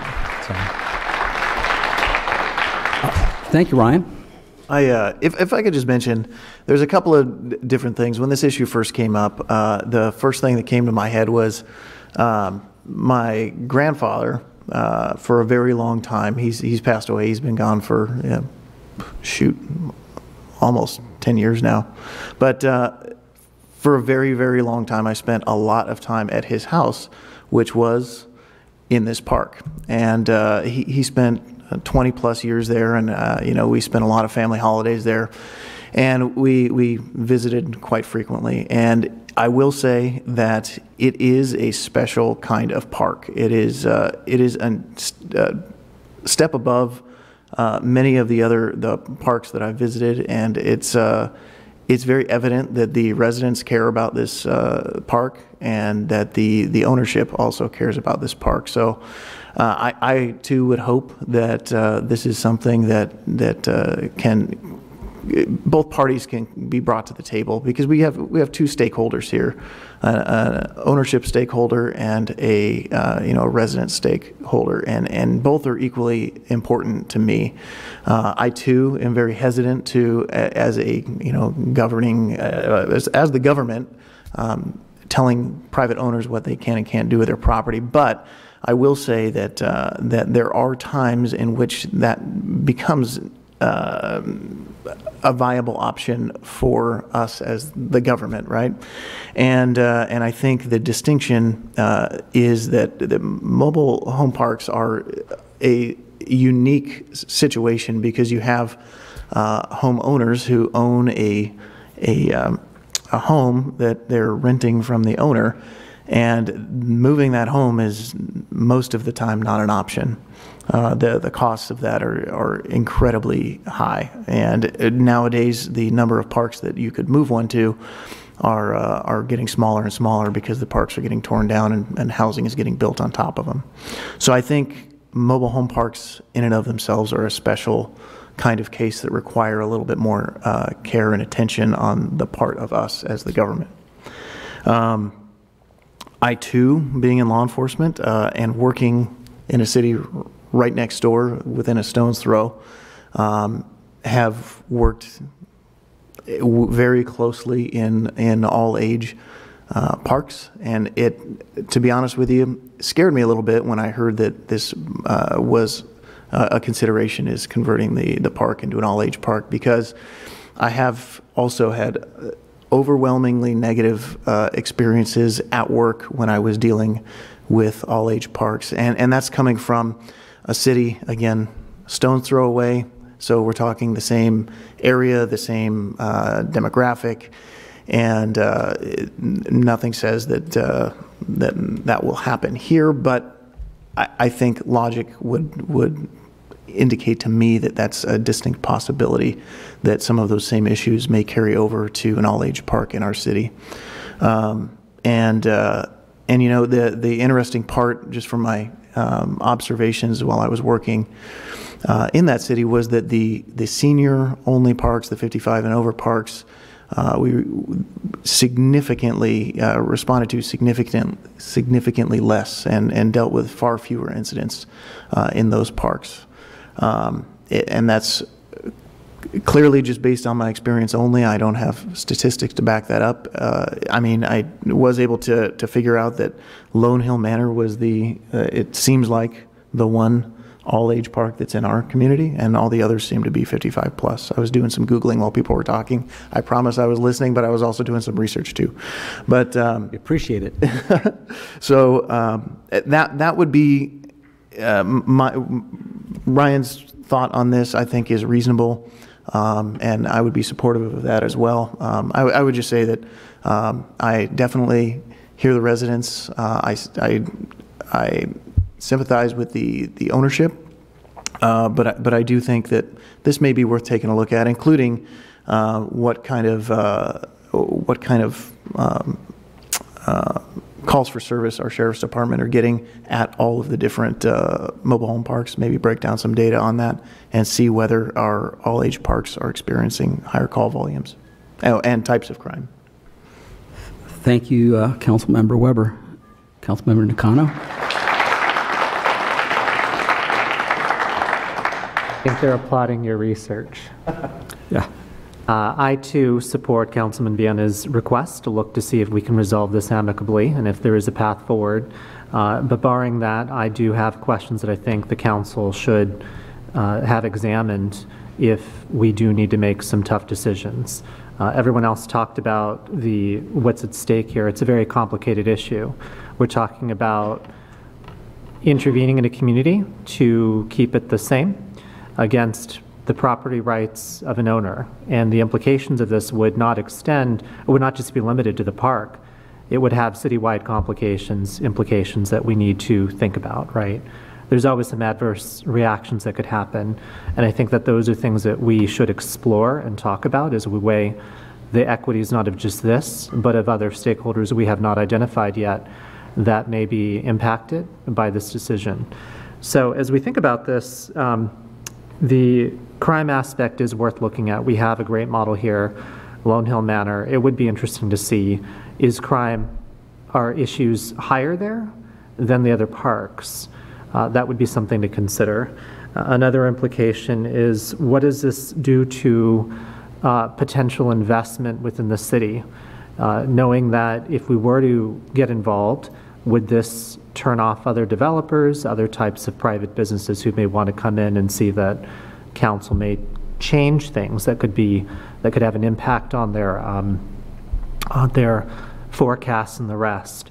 Uh, It it would be good to understand uh, and track a little bit more to see how this impacted them when their policy went into place, um, and whether there are any legal challenges or any other cities that had faced that. Uh, And that goes into my final thing, uh, final issues. I think we do need to look at the legal implications of this. If we were to make any kind of a change, would this open up the city to lawsuit, other legal matters that could be very expensive, that would um, you know, that we have to factor in in terms of our own budgeting and, and process of that sort. Uh, So my hope is, is that the, uh, we're able to find a path forward, and that's why I asked all those questions about the owner. Is this a change in ownership? Is this a corporation? Is this a person who's willing to sit down and listen and talk?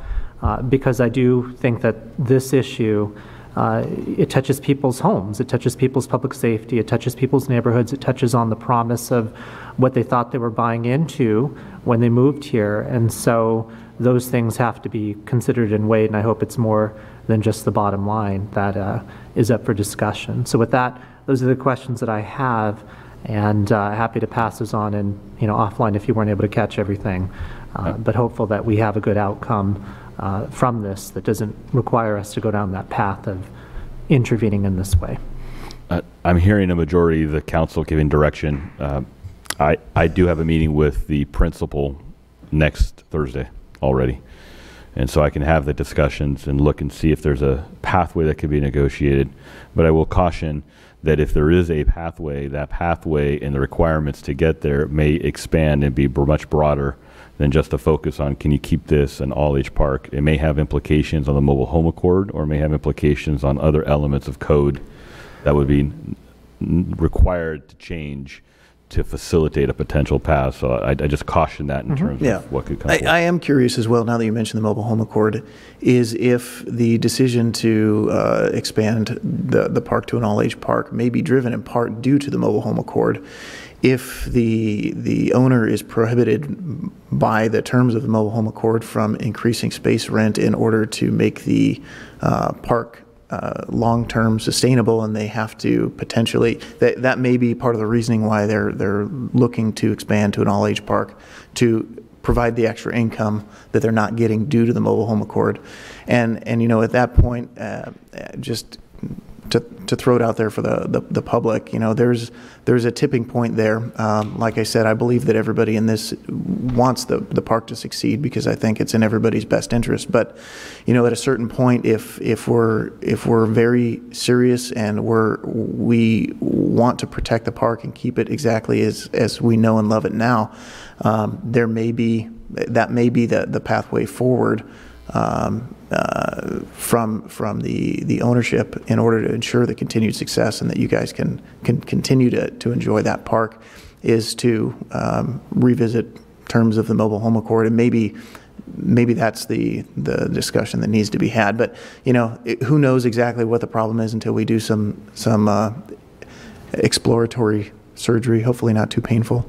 But uh, um, you know it, it's sometimes there there is that that uh, that growth well inflation sometimes inflation just needs to happen in order for us to continue to enjoy the same things that we uh, that we know and love and and at some point uh, it may be worth it and at some point it may not be worth it but that's uh, you know something that I think we're going to have to uncover as we yeah. move forward and look at this. I, I would echo what Eric, uh, what Councilman Weber said, that uh, residents, staff, the owner, and the city council should all know what options are on the table and what the consequences of those options may be.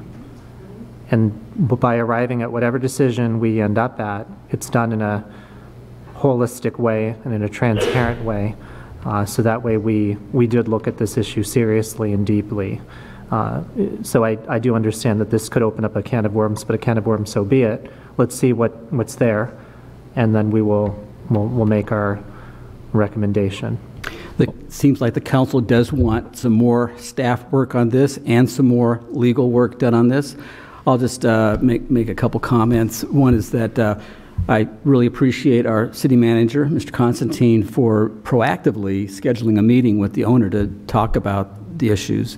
And so, and with the benefit of council's uh, thoughts, he can go into that meeting uh, knowing that the council's preference, it sounds like, is that the park remain 55 plus, if at all possible. It kind of sounds like we'd like to get to that point.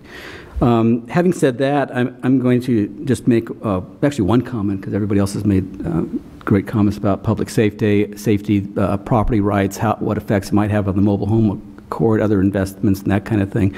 And that's just about the affordable housing component. The council is acutely aware of the affordable housing crisis that we have, and we talk about this all the time. Um, we need to protect affordable housing. We need to protect affordable housing for families. So families uh, that have small kids and, and of all ages, uh, it is important that we do what we can to have affordable housing for families. That being said,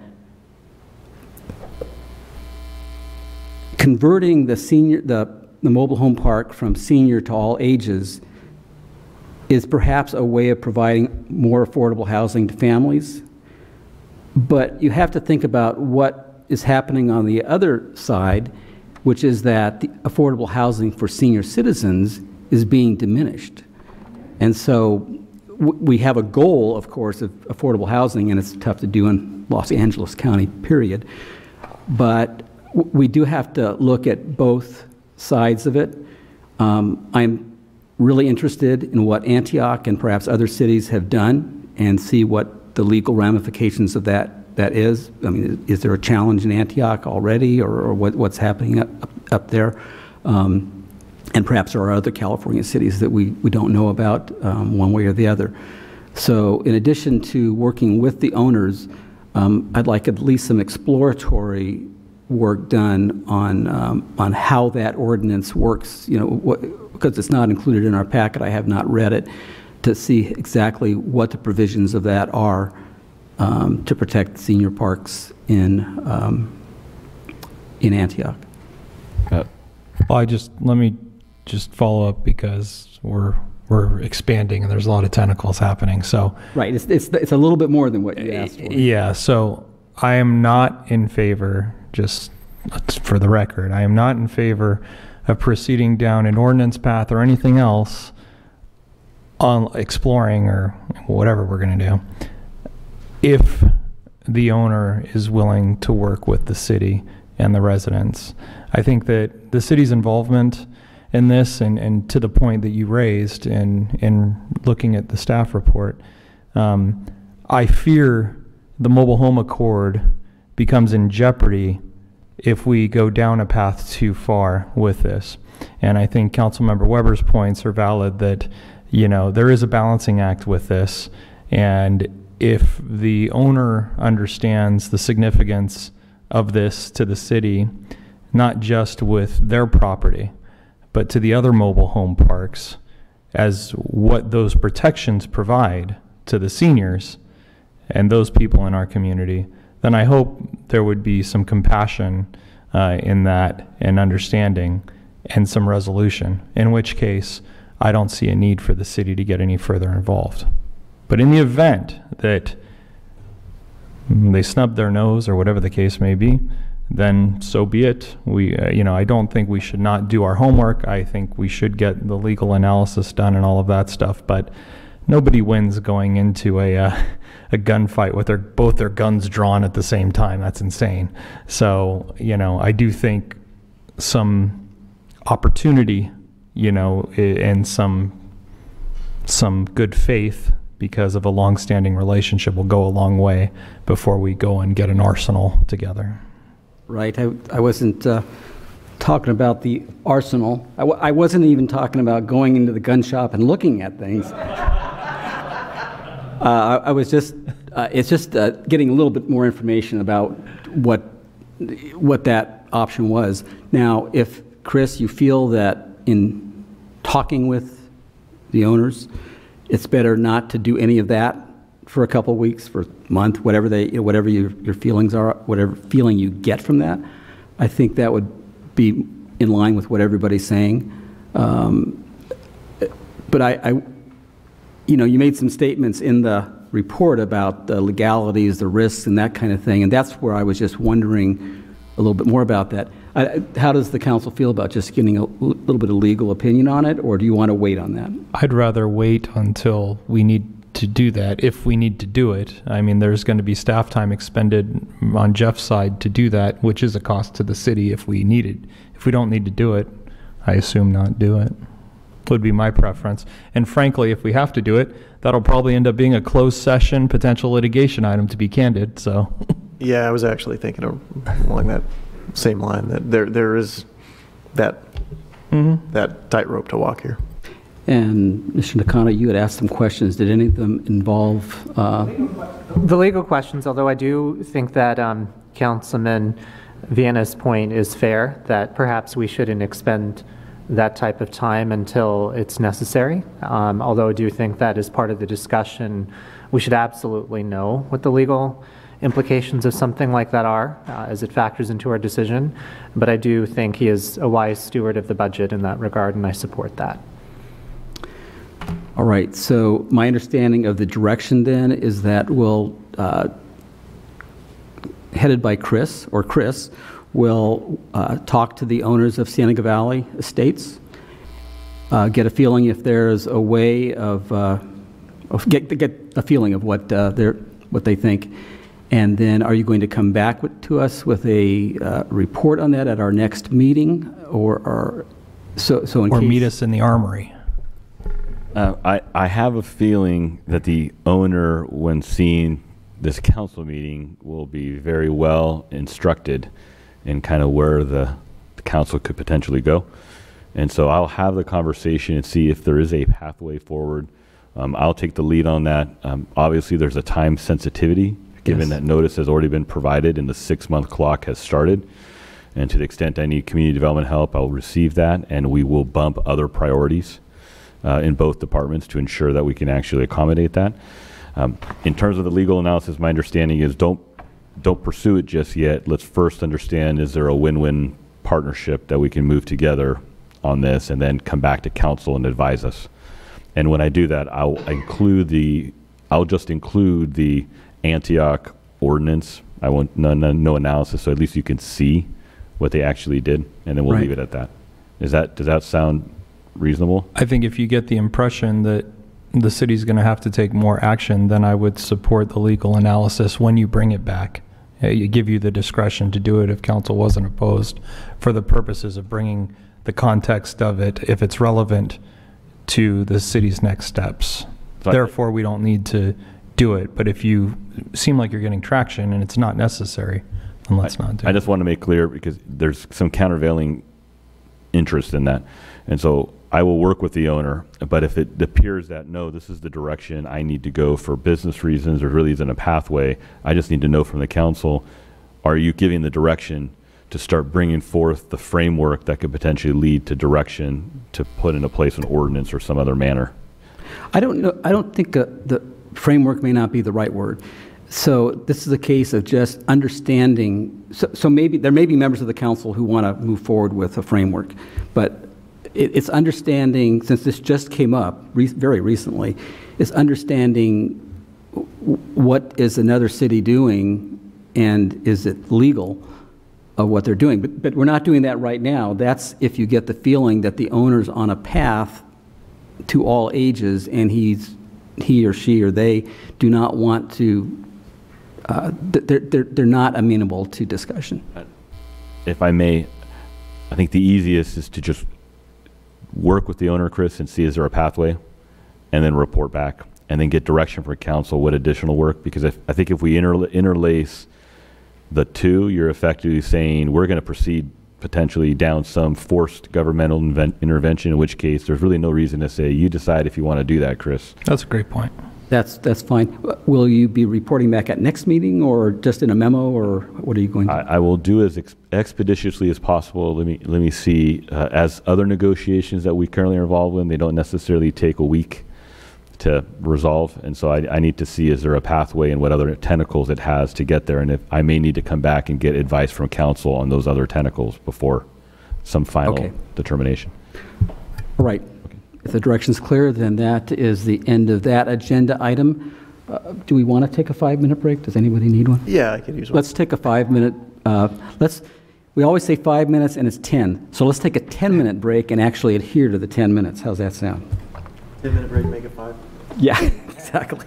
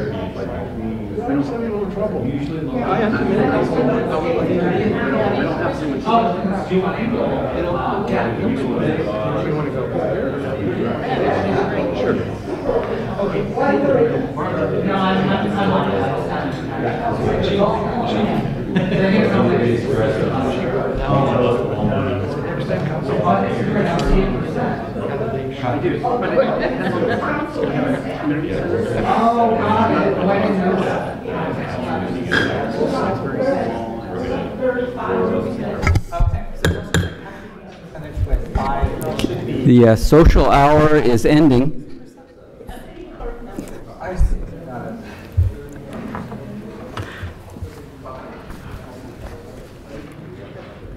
Just going to wait just another moment.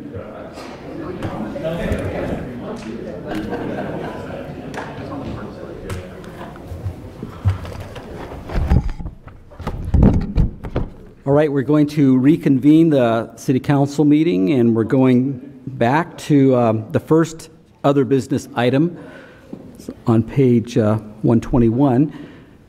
This is uh, consideration and discussion on zoning, design, and development standards that the city could include in an ordinance to minimize negative impacts related to Senate Bill 9, which requires cities to ministerially approve subdivisions of single-family zone parcels, the subdivisions, the divide the parcels into two parcels, and develop two houses on each parcel.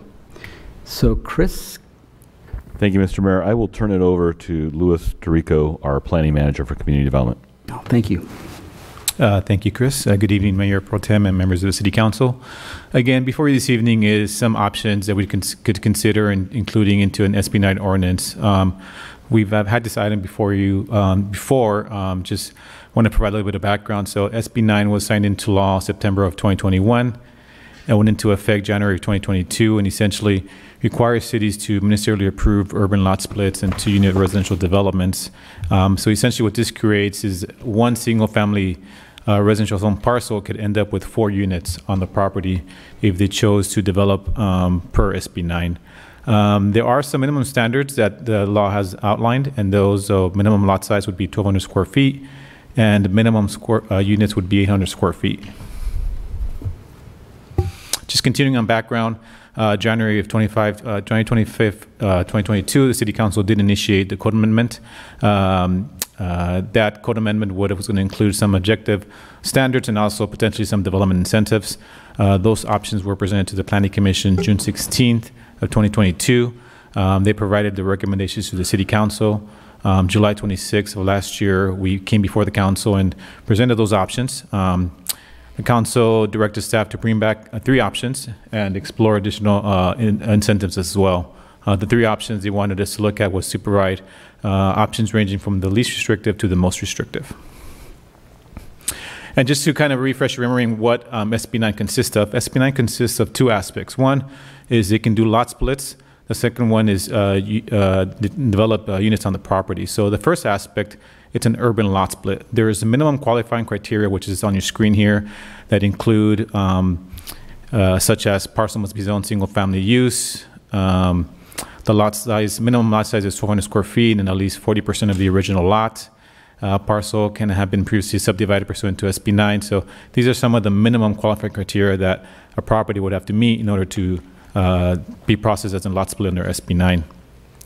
There's also minimum development standards um, for lots uh, that are created through SB 9.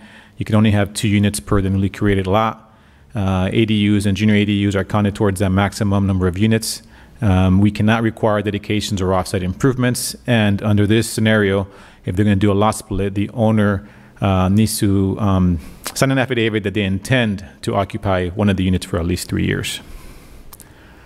The other aspect is the two-unit development. So under this uh, minimum qualifying criteria, again, similar to the other aspect, the parcel must be zoned for single-family use. Uh, Project cannot require demolition of more of 25% of exterior walls unless allowed by a local ordinance or site has not been occupied by a tenant in the last three years. Um, Parcel cannot be deemed historic or located in a historic district and must not require demolition or alteration of protected affordable housing or housing that's been occupied by a tenant in the last three years. The minimum development standards for a two-unit development, um, again, they do set number of maximum number of units. If um, a lot is created through SB 9, it's a maximum of two units. If someone was just wanted to take advantage of the development uh, uh, incentives under SB 9, they can create four units on their property. It would consist of two units, an ADU, and a junior ADU. Um, there are minimum uh, setbacks, which consist of four feet uh, for the side and the rear. Uh, no setback requirements for structures constructed in the same location and to the same dimensions. And a maximum of one parking space can be required for these units. However, if a parcel is located within half a mile of a high quality transit corridor or a major transit stop, like the Gold Line station, then they're exempt from parking. These are just some scenarios for unit developments. Again, they can build up to four units per property. They can have two units, which is one, the primary unit and the second unit, uh, an ADU or junior ADU. Um, in up to four units, they can have uh, one unit, a secondary unit, an ADU, and then a junior ADU within one of the two units. And these are lot split scenarios. So again, um, if they pursue this route, the newly created lots, you could only have a maximum of two units on the property. Uh, so it would be one, the primary unit, and the second would either be the second unit, an ADU, or junior ADU. And on your screen, it's just some different scenarios of how these lots can be configured.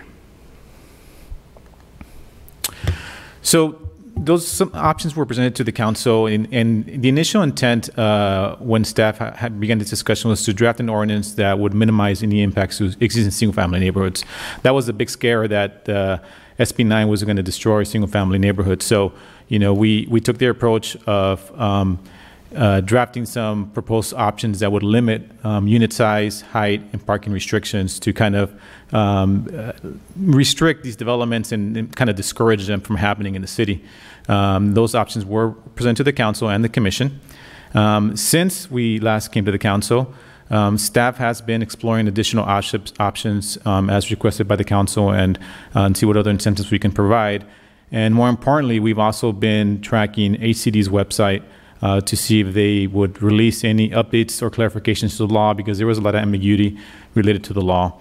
Um, while they have not released any updates or to the law, um, staff has been made aware that um, HCD has been um, coming down in certain cities. We, we know that two cities in the San Gabriel Valley received letters essentially informing them that they were in violation of the SB 9 law and Housing Crisis Act law. Essentially, what those cities uh, adopted, they adopted an ordinance that was more restrictive than their existing, single-family standards. Therefore, HCD saw that, saw that as a violation of the law and sent them letters, and as a result, those cities are currently amending their ordinance. Therefore, the options that staff had presented before, the limitations, we, our initial intent was to apply those limitations to both units. However, um, given those letters sent by HCD, and after having conversations with our city attorney's office, uh, you know, we uh, changed our approach. Um, so after having the discussions with the city attorney's office, they recommended that we propose an ordinance that the first unit be allowed to be developed per our existing standards and only apply limitations should the council de decide to to the second unit. Taking that approach, um, it would be hard to argue that uh, for HCD to say that we are creating an ordinance that's more restrictive because we would allow one unit to be developed per our standards, which is currently allowed right now. Um, those limitations would only be applied to the second unit should the council decide to.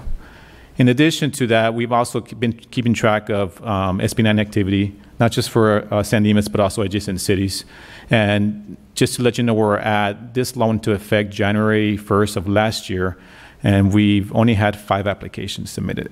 And of those five applications, one of them they actually processed it under the normal procedures, but they switched it to an SB9 project so they would get out of doing offsite improvements. So technically, we've gone five, but only four under SB9, and those are still being processed.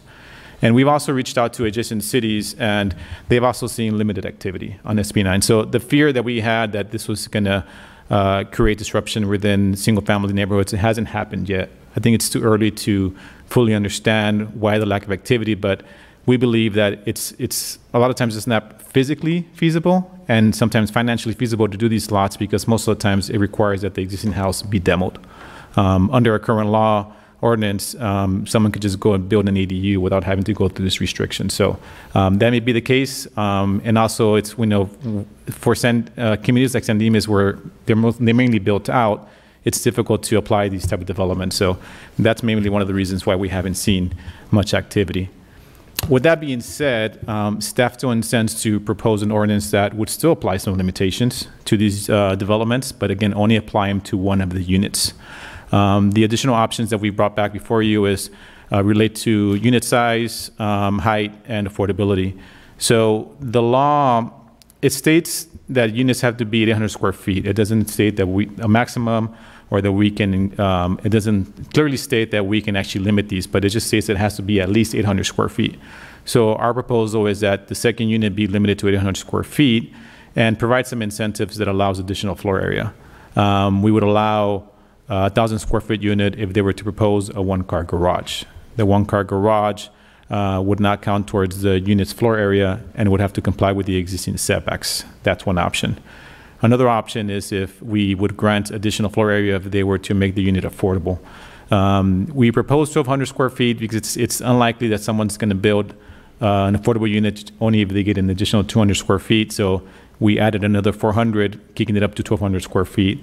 And um, if someone wants to do an affordable unit, they would big, make it as big as 1,200 square feet. That would be the second option in terms of floor area. For height and stories, again, we would want to limit it to one story in height. Um, some of the options that are before you is if a lot would be at least 150 feet in depth, then we would allow a two-story unit. And what this um, tries to achieve is those deeper lots, you can space the units so you kind of avoid the overcrowding. And furthermore, if you were to require that the unit be located in the rear one-third of the parcel, it may address some of the privacy concerns that were raised last time when we brought this before the council. In addition, I think last time we were here, the council suggested that maybe some properties that are adjacent to uh, like a wash or a channel, maybe they can have a two-story house in the back. Um, we looked at that as well. There are some properties that abut to the wash um, in North San Dimas, I mean, towards the north of the town, and those can be applied to that. Um, we also looked at if we're going to do it to that, maybe other non-sensitive uses like commercial properties or multifamily properties that are at the rear, those parcels could have a two-story unit as well. So there's some options there as well. And lastly, um, from an affordability uh, uh, standpoint, we can require that the units be affordable.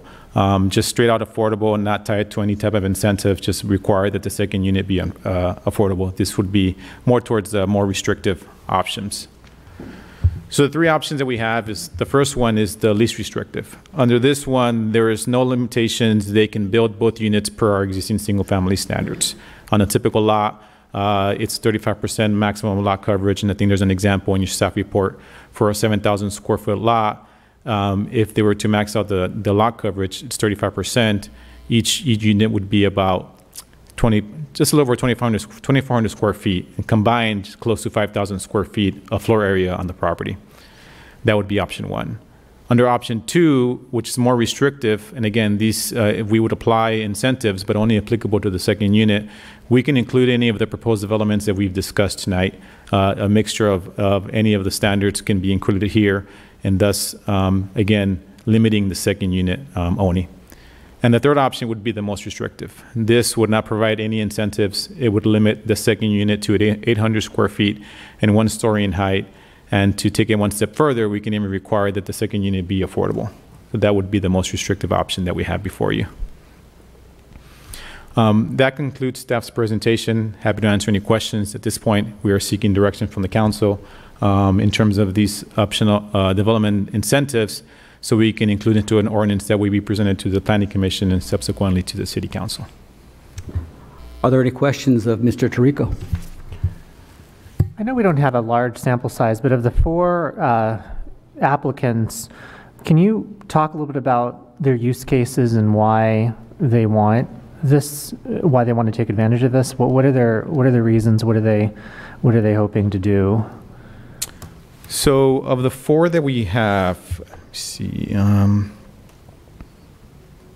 I think there's one that has, they're splitting it into two parcels and they want to build two units on each. So it's sort of the max of what they could do. Yes, so again, there's five applications, and one of them, I'll just take that out of the equation because that one, they qualify, they, they process their project under a regular uh, process. They just applied, they switched on an SB9 because they wanted to get out of doing offsite improvements, which is one of the things that if it's an SB9 project, in addition to streamlining it, we can't require offsite improvements or dedications. So they switched it mainly for that reason. So there's really no, um, I, I would say even though it's an SB9 project, doesn't really qualify here. But of the other four, um,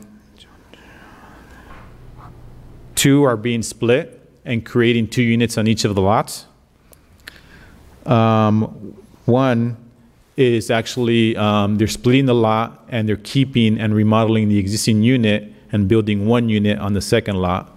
And then the fourth one, all they're doing at this point is just splitting the lot this time. They're not proposing in development. Uh, it's a large lot, um, and they're splitting it uh, to create two parcels and sell both of them off. And these are with existing, all of them have existing homes right now on the lot? Yes, that's correct. great. Yes. Do we know what their, what the reason is for wanting to build a second house? Is it just to, like, get rental income? Is it, do we have, any do you have any sense? We didn't get into any details with the applicants, but our sense is that a majority of them, they just want a additional, um, either for family members or as rental income. And the, the ones that are splitting the lot, they're actually, will be selling that second lot. So uh, for them, they're looking at it from like of a developer standpoint where they can, you know, still keep their property, their home, but split it off and make some money by selling off the second lot. I see. Can we go back to the slide with the, the, um, the, the options? Sorry. There we go. So in relation to these options, um, I'm having a hard time wrapping my mind around, maybe it's just something that I missed. Um, the, uh, single story versus two story and how that weighs into, uh, on, uh, page 146 of our packet, uh, and the header potential height option. It says that the, um, commission agreed with, uh, one story in height unless they provide a two-car garage. So the way I kind of read that is if you were to build a ADU on top of your existing two-car garage, so it maintains the, the parking of two cars in the garage itself, then that would be permitted because it's uh, keeping the parking and it's in an, it- adhering to existing setbacks and lot coverage. Am I reading that right? Yes, to an extent. That was one of the options that was presented the first time we were here was, um, at that point, we we're actually being a little more restrictive and uh, allowing a two-story unit if they build a two-car garage. Under these, uh, what's presented tonight, it's only a one-car garage, but uh, that, that scenario there, yes, it would be a two-car garage and the unit would be built, majority of the unit would be built on top. So in relation to these three options, would that be falling under like option two? It would be option two. Option two is the one that provides incentives. Okay. Uh, and is the uh, more restrictive, uh, but also also uh, under option one, they could develop a two-story unit without any restrictions because our Right. current code allows it. And then in option three, it would just be straight one story. They wouldn't be able to, uh, to build a second story on top of a garage. Correct for the second unit only. Okay. Yeah. Great, Ryan? I don't have any questions, but before we deliberate, I do have a comment. Okay. I, I had a question just uh, on that, just because it's listed in the option three, the most restrictive at the end of the presentation, and in the packet, it's on 128 and 129. Uh, Is that, it says, it says it's uh, likely not to be a violation of SB 9 law, or less likely. Um, And is that because we're keeping the 35% lot coverage and limiting, and is that the only limitation besides a single story? So what we're proposing, and again, this is based on the recommendation from the city attorney's office, and again, this is on you. Uh, we don't know exactly 100% how HCD is going to respond, but uh, our our thoughts that are that right now our single-family zone allows the development of one unit per our existing standards. If we if we create a new ordinance that applies to SB 9, we still will allow the development of one unit per existing standards, thus not being more restrictive. We're allowing that unit to be developed per our standards and then apply whichever, whatever limitations you may choose to, to the second unit. So that, that's why we believe that HCD will not see that as a violation of the law. Okay. Now, what about, um, larger lots, because we had talked about, you and I had talked about um, putting a second unit on a lot, and that's a right that people can, is that SB 9 or is that another um, law that allows you to put that second unit on the existing lot without a lot split?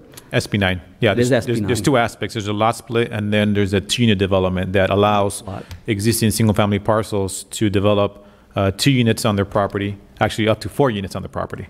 Two regular units, an ADU and a junior ADU. Okay. So let, let's say somebody is just, wants to build a larger than 800 square, they would like to anyway, and they- they've got like a large lot, say it's over 10,000 square feet for the lot, so your lot's getting a little bit bigger. Um, What do you think about allowing a larger than, like adding that as, it's not necessarily an incentive, it's just an additional, uh, something that people can do because they happen to have a larger piece of property? and uh, having, you know, having whatever restrictions on it, say, single story, you know, you can go up to 35 lot percent, uh, maybe with some kind of max, whether it's 12, 13, 1400 square feet. Yes, we can definitely do that, include that. We can include that as, uh, it's an object- objective standard that we can include. So um, when we were looking at the whole lot size and uh, uh, we ended up with the lot depth, the reason we then further uh, study the lot size is because the average lot, the average lot in San Dimas is, you're going to get seven, between seven and 10,000 square feet. It's, you're going to have some of these larger lots, but majority are smaller. So um, that's why we applied uh, the depth instead of the, the, the overall size of the area of the lot. But in certain cases where we have these larger lots, that could work. If we can create like a sliding scale, and whether that it's a 10,000 square foot lot or a 15,000 square foot lot, that if if they if they end up uh, the- with a newly created lot that has that, or an existing lot, then potentially they can build that second unit up to maybe 1,500 square feet, uh, 1,600 square feet, uh, if we limit it to one story in height, like you were saying. And the reason I ask that question is because the, uh, being more restrictive has its appeal, um, but on the other hand, if it's like a blanket 800 square feet, foot max, um, on some properties, a larger house would, would not have the kind of effect that like an 800 square foot or 1,000 square foot house might have in a on a smaller lot, like in the town core. That's correct. Yeah, as an example, one of the, the properties that, submitted an SB 9 uh, application on Valley Center, it's a large lot. And so if they were to develop, develop that for SB 9, you really wouldn't feel much of the impact because of the size of the lot. So um, under those lots, it's an, it was an 18, it's an 18,000 square foot parcel, and they're splitting it in two, so ending up with 9,000 square foot lots. So you really wouldn't see that as a negative impact on that one, so. Okay, good. Uh, One last question, just, or asking maybe staff's thinking on this. You mentioned that uh, possibly allowing two stories on lots that are 150 feet deep, but, you know, a lot of the houses you, or lots you mentioned, and you're talking about the town core lots, a lot of them are only 50 feet wide. And so that doesn't necessarily lessen the impact, or, or do you think it lessens the impact of a two-story house being on a narrow lot like that? Well, I think the. Just, just because it's deep. Yeah, that, and that was mainly is because we can require that, that they place the unit towards the rear one-third of the property, thus keeping it away from the, the primary units in the front and potentially open space areas in the back as well. Okay. All right, any, uh, any other co- comments or questions? Is there a um, understanding, as we talked about this matter last time, um, and we were concerned about this influx of applications and, you know, the crystal ball, is there any time crunch to this at this moment? There is no urgency. Um, I think the ultimate goal is to uh, draft an ordinance that we have in our books that you know allows applicants residents to follow. But there is no urgency. Like I mentioned earlier, there was in, in the beginning some some concern that um, these projects were going to was going to be a proliferation of these projects and potentially impact single family neighborhoods. But that hasn't been the case, and it hasn't been the case for adjacent cities as well.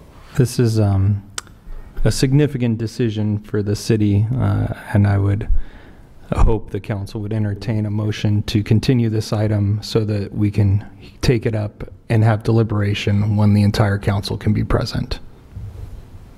I think uh, that's something that we should uh, definitely look at. Uh, I know the you know, the the mayor has spoken uh, in many different meetings about uh, his preferences on this, and uh, and I definitely value his opinion, and uh, and I think he would be uh, a great addition to the conversation if we were to, to postpone it. Is that a second? I am not, so, did you make a motion, Ryan? I did. So Mr. Vienna made, and wait, did I hear a second? I'll second it. Okay, so I heard a motion to continue this item to a date uncertain, or do you want to go Uh, to? Date to be determined is uh, m- perhaps check in with the mayor and uh, when we can all be present. Um, I, I know right now that the first meeting that all council members will be present will most likely be the second meeting in May, since variance council members have conflicts that take them away from the meetings. The mayor today, others for the rest of the meetings. Did you say the second meeting in May? That would be the earliest that we have all five council Will, members. will that be a budget planning meeting? Um, Unfortunately, with the budget, we, we had the internal discussions. Um, We need to have a preliminary budget coming forth earlier than that. And so that will be happening. We're trying to schedule that. And so we will not have the full council, but for the final budget and the deliberations, yes, we need the whole council there. We do, and then, so now we're into June, um, because I would agree with um, other council members that we need, need the full council mem, council. So it's, so let's make it a date, a date uncertain, knowing that we still want to do it. But, uh, so the motion is to continue this to a date uncertain when all council members can be present physically. Eric seconded that. Any have- comment I- or discussion? I on have that? one question. So the ordinance, if we were to enact it at this meeting or a future meeting, would apply to future applications, not those already in process, or is it retroactive as well? It would be for, once we, so we would have to go back to, obviously, generate the ordinance, then we present that to planning commission, city council, have a first, second reading, and 30 days after that, it would become in effect. For um, future? For future. Okay, got it. So right now, I think the, the reason why I asked that question is just playing off applications that are coming in. How many of those do we want, whatever we decide to apply to?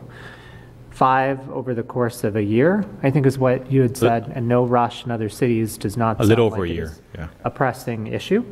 Um, And if we are also hearing that those that have come in don't seem to have any effect, you know, they're taking these large humongous lots, I I don't even, do we even need to really set a date for this? And we just maybe approach it when there seems to be a need? It's going to be a date uncertain. Yeah. And um, so staff will determine that in conjunction of when the council will all be here. So there isn't a time limit, time crunch per se, but we, for all applications that come in now, we'd have to go by the state guidelines. Correct. And we would have to go with our current code for both lots, 35%, two-story uh, height limits, et cetera. So, Which is basically option one, isn't it? Correct. Correct. Okay. Yes. Right. So, yes, so that's, uh, yes, uh, s- right, the council is not saying at this point that we don't want to do anything. and- Sooner than September. Okay. All right, we have a motion on the table. I think it's understood what the direction is. Um, All in favor of that motion, say aye. Aye. Aye. Opposed, say no. Uh, The motion carries four yes, zero no, and one member absent, the mayor. And that concludes other business. So let's see, the next thing we're going to go on to is we're now into the second period of oral communications. Same rules apply. Is there anybody in the audience who wants to speak to the council at this time?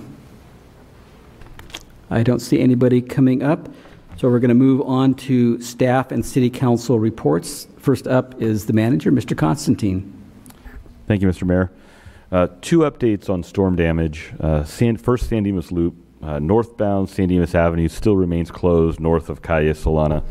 Staff continues to monitor and assess the condition and is working with consultants to provide repair recommendations for that uh, segment of what is public property. Uh, We're, we have submitted our damage assessments to our regional emergency response body, and so it'll be a waiting game to determine whether they will, they will eventually be accepted and potentially get some recovery from the state for a portion of what would be the cost. Uh, we have an engineer, a geotechnical engineer, uh, assessing and going to give us a more detailed report on that. And so as we find more information that's relevant for the council, I'll, I'll inform you, and it may be through one of my updates. Um, a second one on Canterbury Lane. This is a private property uh, hillside slide. Uh, there has been significant damage due to the storms, uh, which have compromised the hillside.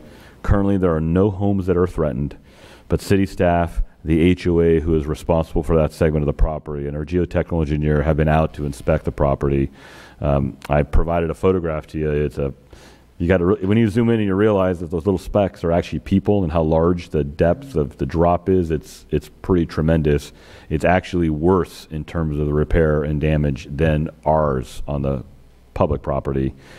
Uh, and so the HOA has placed warning signs. Uh, those property ends up being on the backside of private property. So there's been warning signs placed. So if anybody kind of makes their way to that direction, they know, hey, there's a drop off that is greater than 35 feet that occurs uh, in that location. And so we're, we're still in the early stages of uh, assessing that. We've added that to our damage assessment. It's part of the reason why we did the second disaster proclamation that you approved today and um, uh, ratified my proclamation uh, to ensure that we can keep keep damage pushed forward and potentially seek recovery. And even though this is a private property damage, we submitted that also. In terms of the Gold Line update on Bonita Cataract, the contractor is installing the final improvements to get this intersection to its final configuration. So I think we're getting to the end of the road in terms of what this intersection will look like. On Thursday, March 30th, um, from 7 a.m. to 11 p.m., the contractor will close eastbound Bonita Avenue at Cataract for one day to do the final paving for the eastbound lanes. Um, Cataract Avenue will remain closed at Bonita Avenue. And then the following day, the 31st, from 7 to 11, the contractor will close the westbound Bonita Avenue at Cataract for a day to do the final paving on the westbound lane. And so that hopefully gets us to almost completely finished. Uh, the last item, uh, I think all of us are very well aware of the tragedy that unfolded in Nashville, Tennessee, with the death of six individuals, three students and three staff um, in Nashville. Uh, the president issued uh, a, a, proclamation honoring the victims. It's a very somber ac- event to occur. Uh, I want to recognize that the Los Angeles Sher- County Sheriff's Office um, has been doing the rotations to all our local schools, conducting active shooter training, which uh, is uh, been something that is a risk in an environment such as a school. So I think the fact that we're working with the school district, ensuring they're preparing and they're training, uh, I hope we never have to face this event in our community. But I think if it does occur, the training and the preparation and the proper response from all our agencies is crucial. And I ask that when we close the meeting, we close it in honor of uh, those who had died in Nashville, Tennessee. With that, Mr. Mayor, I'll turn it back to you.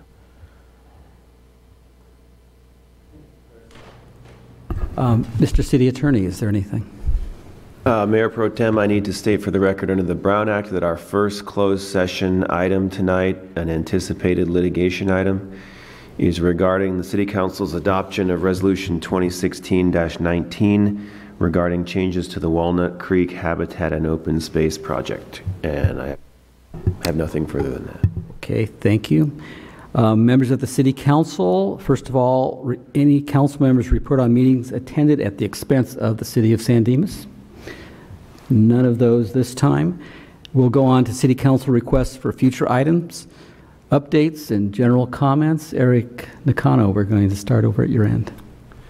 Uh, I will be brief. I have just a few quick things. I first want to wish uh, Mayor Badar a speedy recovery. Uh, in, I know he's not with us physically, but I'm sure he's watching on YouTube and uh, very engaged with the discussions we're having. So we miss you, Mr. Mayor, and we, well, we, we hope we wish you a speedy recovery, and we look forward to seeing you at the next meeting. Um, the second item I wanted to uh, bring up is March. As we approach the end of March, Uh, March, I know that we've commemorated March already, uh, but there are a couple of other items that I want to just highlight because I think they're important. Number one, it's a Women's History Month uh, to celebrate all the achievements of women in our country who've done a lot to move our country forward. So I salute all the women past and present who've made our country a better place uh, and the people here at city government who have done so much to ensure that we live in the best town we can possibly live in. The other um, uh, commemoration is March is also colorectal cancer month. Uh, as many of you know, my mom passed away from colorectal cancer a few years ago, uh, and because of my elevated family history, I get um, uh, colonoscopies every two years. In fact, I got one early this year. It's painless. Colon cancer is very easily be very easily treatable if you catch it at stage one, stage two. It gets much more difficult once it hits stage three and stage four, which is where we caught it with my mom. Um, and so I would encourage everybody, especially if you are under the age of 45, uh, that is where we've seen the largest rise. Uh, what I do in my spare time is I'm in a, a bunch of cancer groups and help advise younger people on their treatment options. And it's really, really difficult to see um, people in their 20s and in their 30s face a diagnosis of this. Uh, recently, uh, there was someone age nine who passed away from colon cancer. Uh, and so I would just ask that think about it if you if you feel like you have any symptoms or you just want to go in, you you should definitely get checked out for that. It can make a world of difference, and um, and certainly uh, make sure that you are not following the path of others who were diagnosed too late. Um, the last thing I would say is I just want to pay a special tribute to our city attorney for being a new parent, showing up to all these meetings, um, very engaged, and always guiding the city along with your excellent uh, opinions and wisdom. And so we really appreciate. We know that you could be at home with your with your young child, but we're we're so grateful that you're here and fulfilling your duty. And I just want to salute you for that. So with that, I'll turn it back over to uh, Mayor Pro Tem. Thank you. Thank you. Eric Weber? Yeah, I guess we like you, Jeff. uh, the only thing, I've got one thing, and that's that uh, that this uh, Saturday before last, uh, I know we talked about the uh, Crime Survivors 5K event that was uh, was happening in Bonelli Park prior to it happening, before at our last meeting. I had a chance to attend that along with uh, Councilmember Vienna, and uh, had a, a, nice run. It was a beautiful day out, and honestly, the the turnout um, was fantastic. I, I think uh, I had to walk a 5K just to get from where I parked to the event, and then run a 5K. So uh, you know, I, it was really great to see everybody out there, um, and uh, it was a really good event. So. Uh, you keep that in mind next year. Um, it, it's an annual event. It's always here in Bonelli Park locally. Thanks. Ryan Vienna? All right. Um, oh boy, where to start? One, uh, obviously, uh, the Crime Survivors 5K event, uh, Councilmember Weber talked about was a good time. Sheriff Luna was there, as well as uh, Crime Survivors Organization, and so many others uh, attended that event. So uh, it was very beautiful, uh, honoring the crime survivors as well as those that work to keep them safe, uh, representatives from all various offices, whether it was the DA's office or otherwise.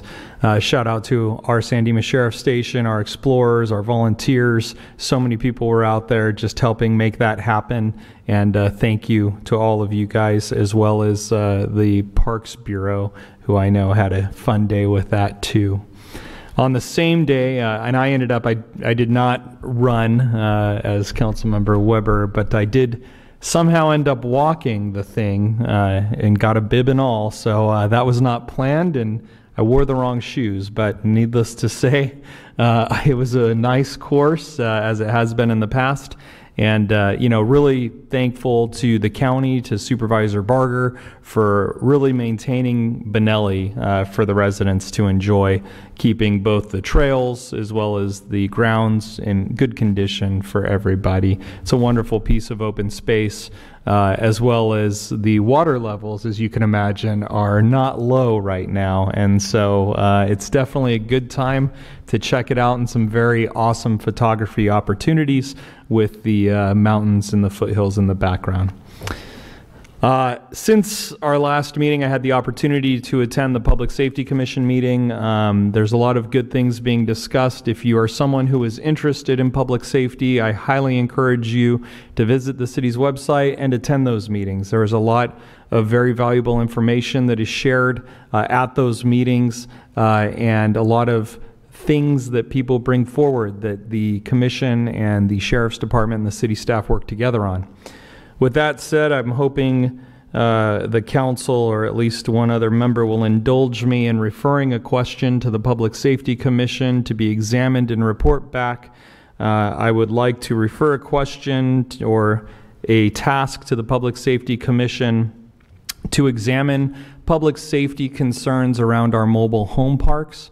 Uh, I'd like staff to work with the sheriff's department uh, and have that item brought to the Public Safety Commission, uh, as well as any other outreach that needs to be done, so that the Public Safety Commission could report back to the council and advise the council on what public safety concerns seniors residing in our mobile home parks have and what is the data around that uh, that looks at both quality of life issues as well as perhaps part one, part two crimes uh, over a period of, let's say, the last five years.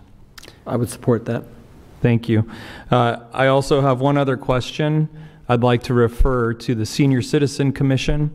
Uh, the Senior Citizen Commission, as some know, is tasked with looking at challenges in our community, and I think sustainable senior living is one of them. Um, I would like the Senior Citizen Commission, the question to be posed to them as it relates to our mobile home parks and aging seniors is what do they envision uh, is a sustainable path for seniors in our community, and what role do mobile home parks play in that? I don't know if anyone else is interested in that. I would support that one too. All right. N- Thank Now, that's, that's your limit though, tonight. I've got a couple other things, Yeah, okay, uh, well, let's see. Mr. Mayor Pro Tem.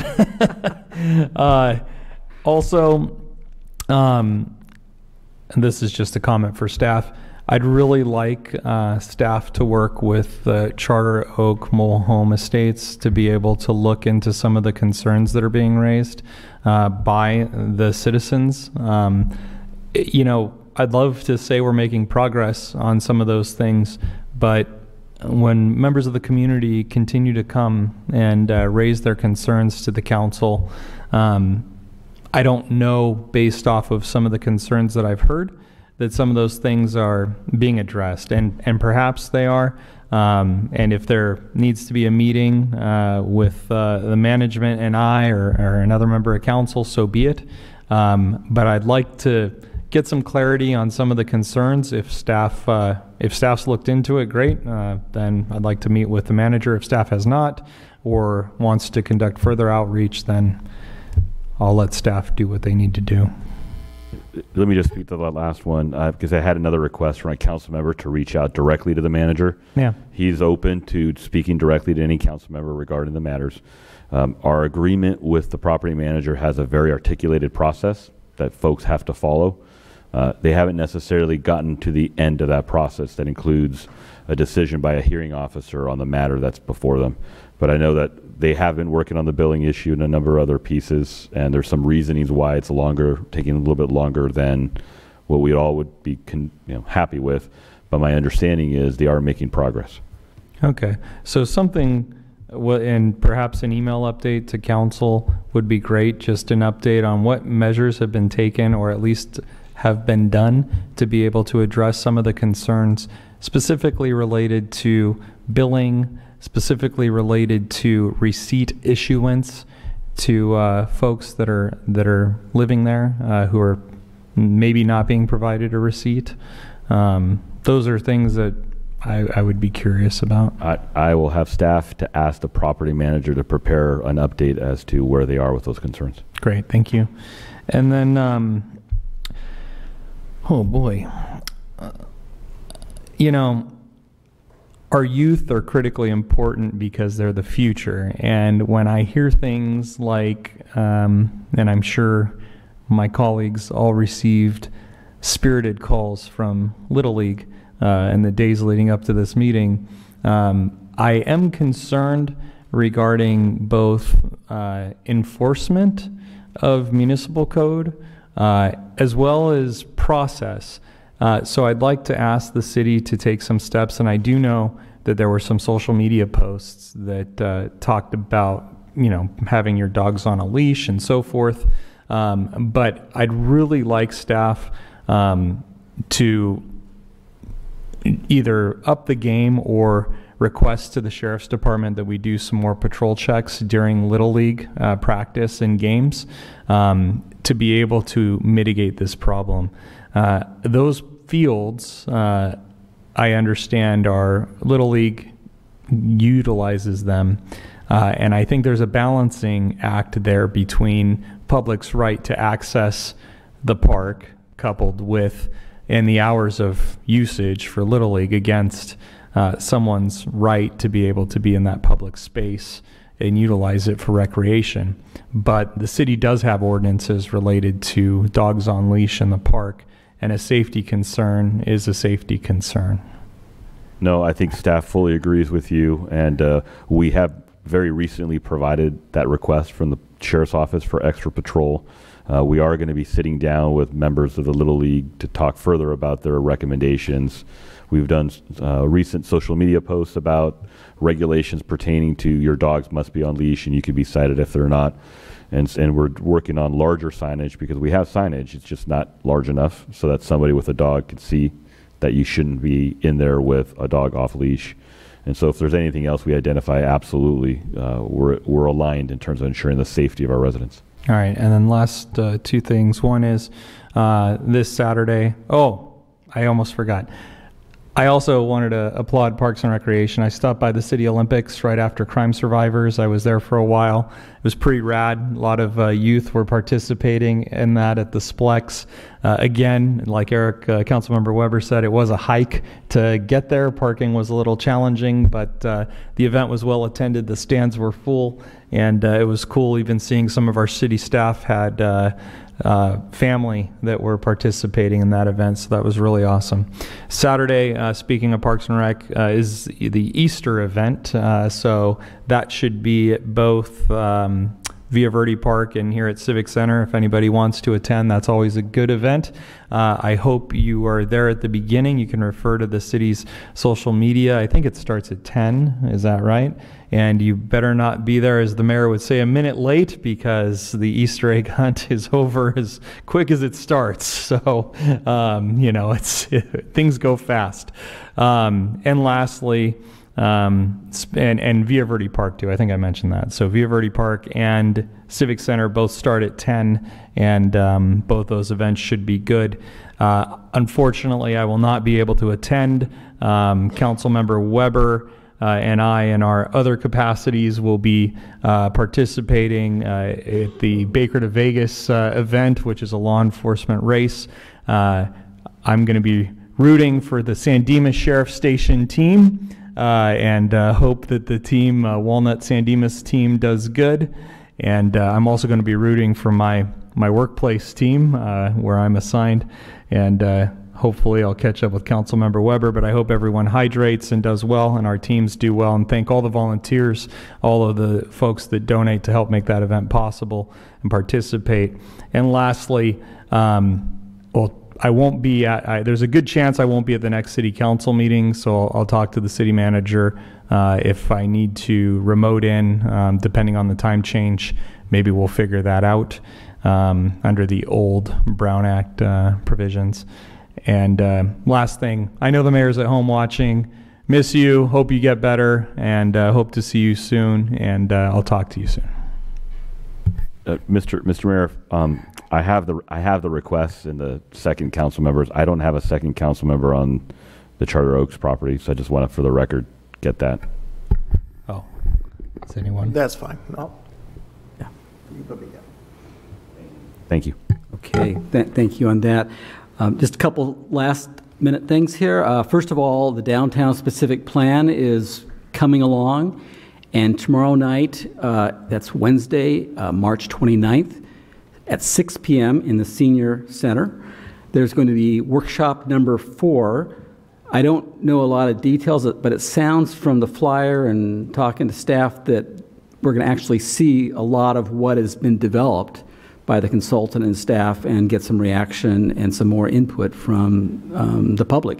Those workshops have been pretty well attended, but uh, it does not hurt to get the word out some more. It's tomorrow night, 6 o'clock. Be there, and uh, that impacts the, the town pretty much, uh, what, what's going to be happening in the downtown specific plan. Um, the other thing is that, um, besides everything that others mentioned, is that we do um, have a parking, an overnight parking enforcement moratorium going into effect uh, for spring break. Now, spring break is a little different for a lot of different uh, schools and places, but ours begins on Saturday, April 1st. So that's next, not this coming Saturday. No, that is this coming Saturday. I, need to correct the update I provided you. It went into effect in, at the Saturday in March and goes through all the way to April, uh, April 2nd. Okay, so the original post was correct. The correction was. Correct. And So now we're back to, the. uh, can you say those dates again, Chris? Uh, March 20, uh, 5th? Or, th- no, it's at March 25th. It's the weekend of the March 25th through April 2nd. the, the last weekend, so it's in effect right now? Correct. Okay, got it. Okay, that aligns with the spring breaks that I know about. It's just the one, it's just the one week? Okay. All right, so we, we got two different pieces of information we put out. Um, It's, it is, it does start Friday night and goes through the 2nd, correct? April 2nd? Yes, so those dates. We will make sure the website properly reflects what the moratorium is. It's like, just forget everything I just said, and here's the actual dates. Um, So Saturday, April 1st at 2 AM, that's Friday night, okay, is when we, we are not going to be enforcing the parking, overnight parking restrictions. And that goes all the way through Sunday morning, April 9th, but starting on Monday, April 10th at 2 o'clock in the morning, either need a permit or don't put your car on the street. Then you're, uh, you're in jeopardy of a ticket. So, uh, so that's that. Um, The only other thing was, um, uh, yeah, Emmett's not here today. Um, I'm appreciative to be able to stand in for him. Thanks, and um, I hope we did a good job. Talked to him yesterday. He's, he's hanging in there, and he'll be back as soon as he possibly can, I, I- I, knowing Emmett. And with that, we have a uh, closed session we're going to be going into in the City Council Conference Room. We've got the anticipated litigation that Jeff talked about, and then are we also going to be talking with real property negotiators? Uh, Yes, but I want to make one correction. Uh, Okay. The city attorney, Jeff Malawy, will be attending, not Michael Houston, the assistant city city attorney. That's a carryover from one of Got the it. last Okay, meetings. That's in the agenda packet, yes. Okay, thank you. And And Ms. with- uh, Mayor Pro Tem, uh, just before, I'd like to move that uh, the mayor's absence uh, be excused for today. Hmm. I'll second. Thank you. He's excused. We, we actually need to vote on that. Do we have to vote on? Okay, so all in favor of excusing the mayor, say aye. Aye. Aye. Anybody don't want to excuse him, say no. I- What does it mean exactly? I don't know what that like means. It's just, If you, if you miss a certain number of meetings in a row, you're, under the law, you can actually be removed from Got it, council okay. Yep. automatically, unless they're excused. So that would be the purpose of it. th- thank you for bringing that up, Ryan. Appreciate that. All right, then we will be adjourning this meeting in honor of the victims of the shooting in Nashville. We are adjourned.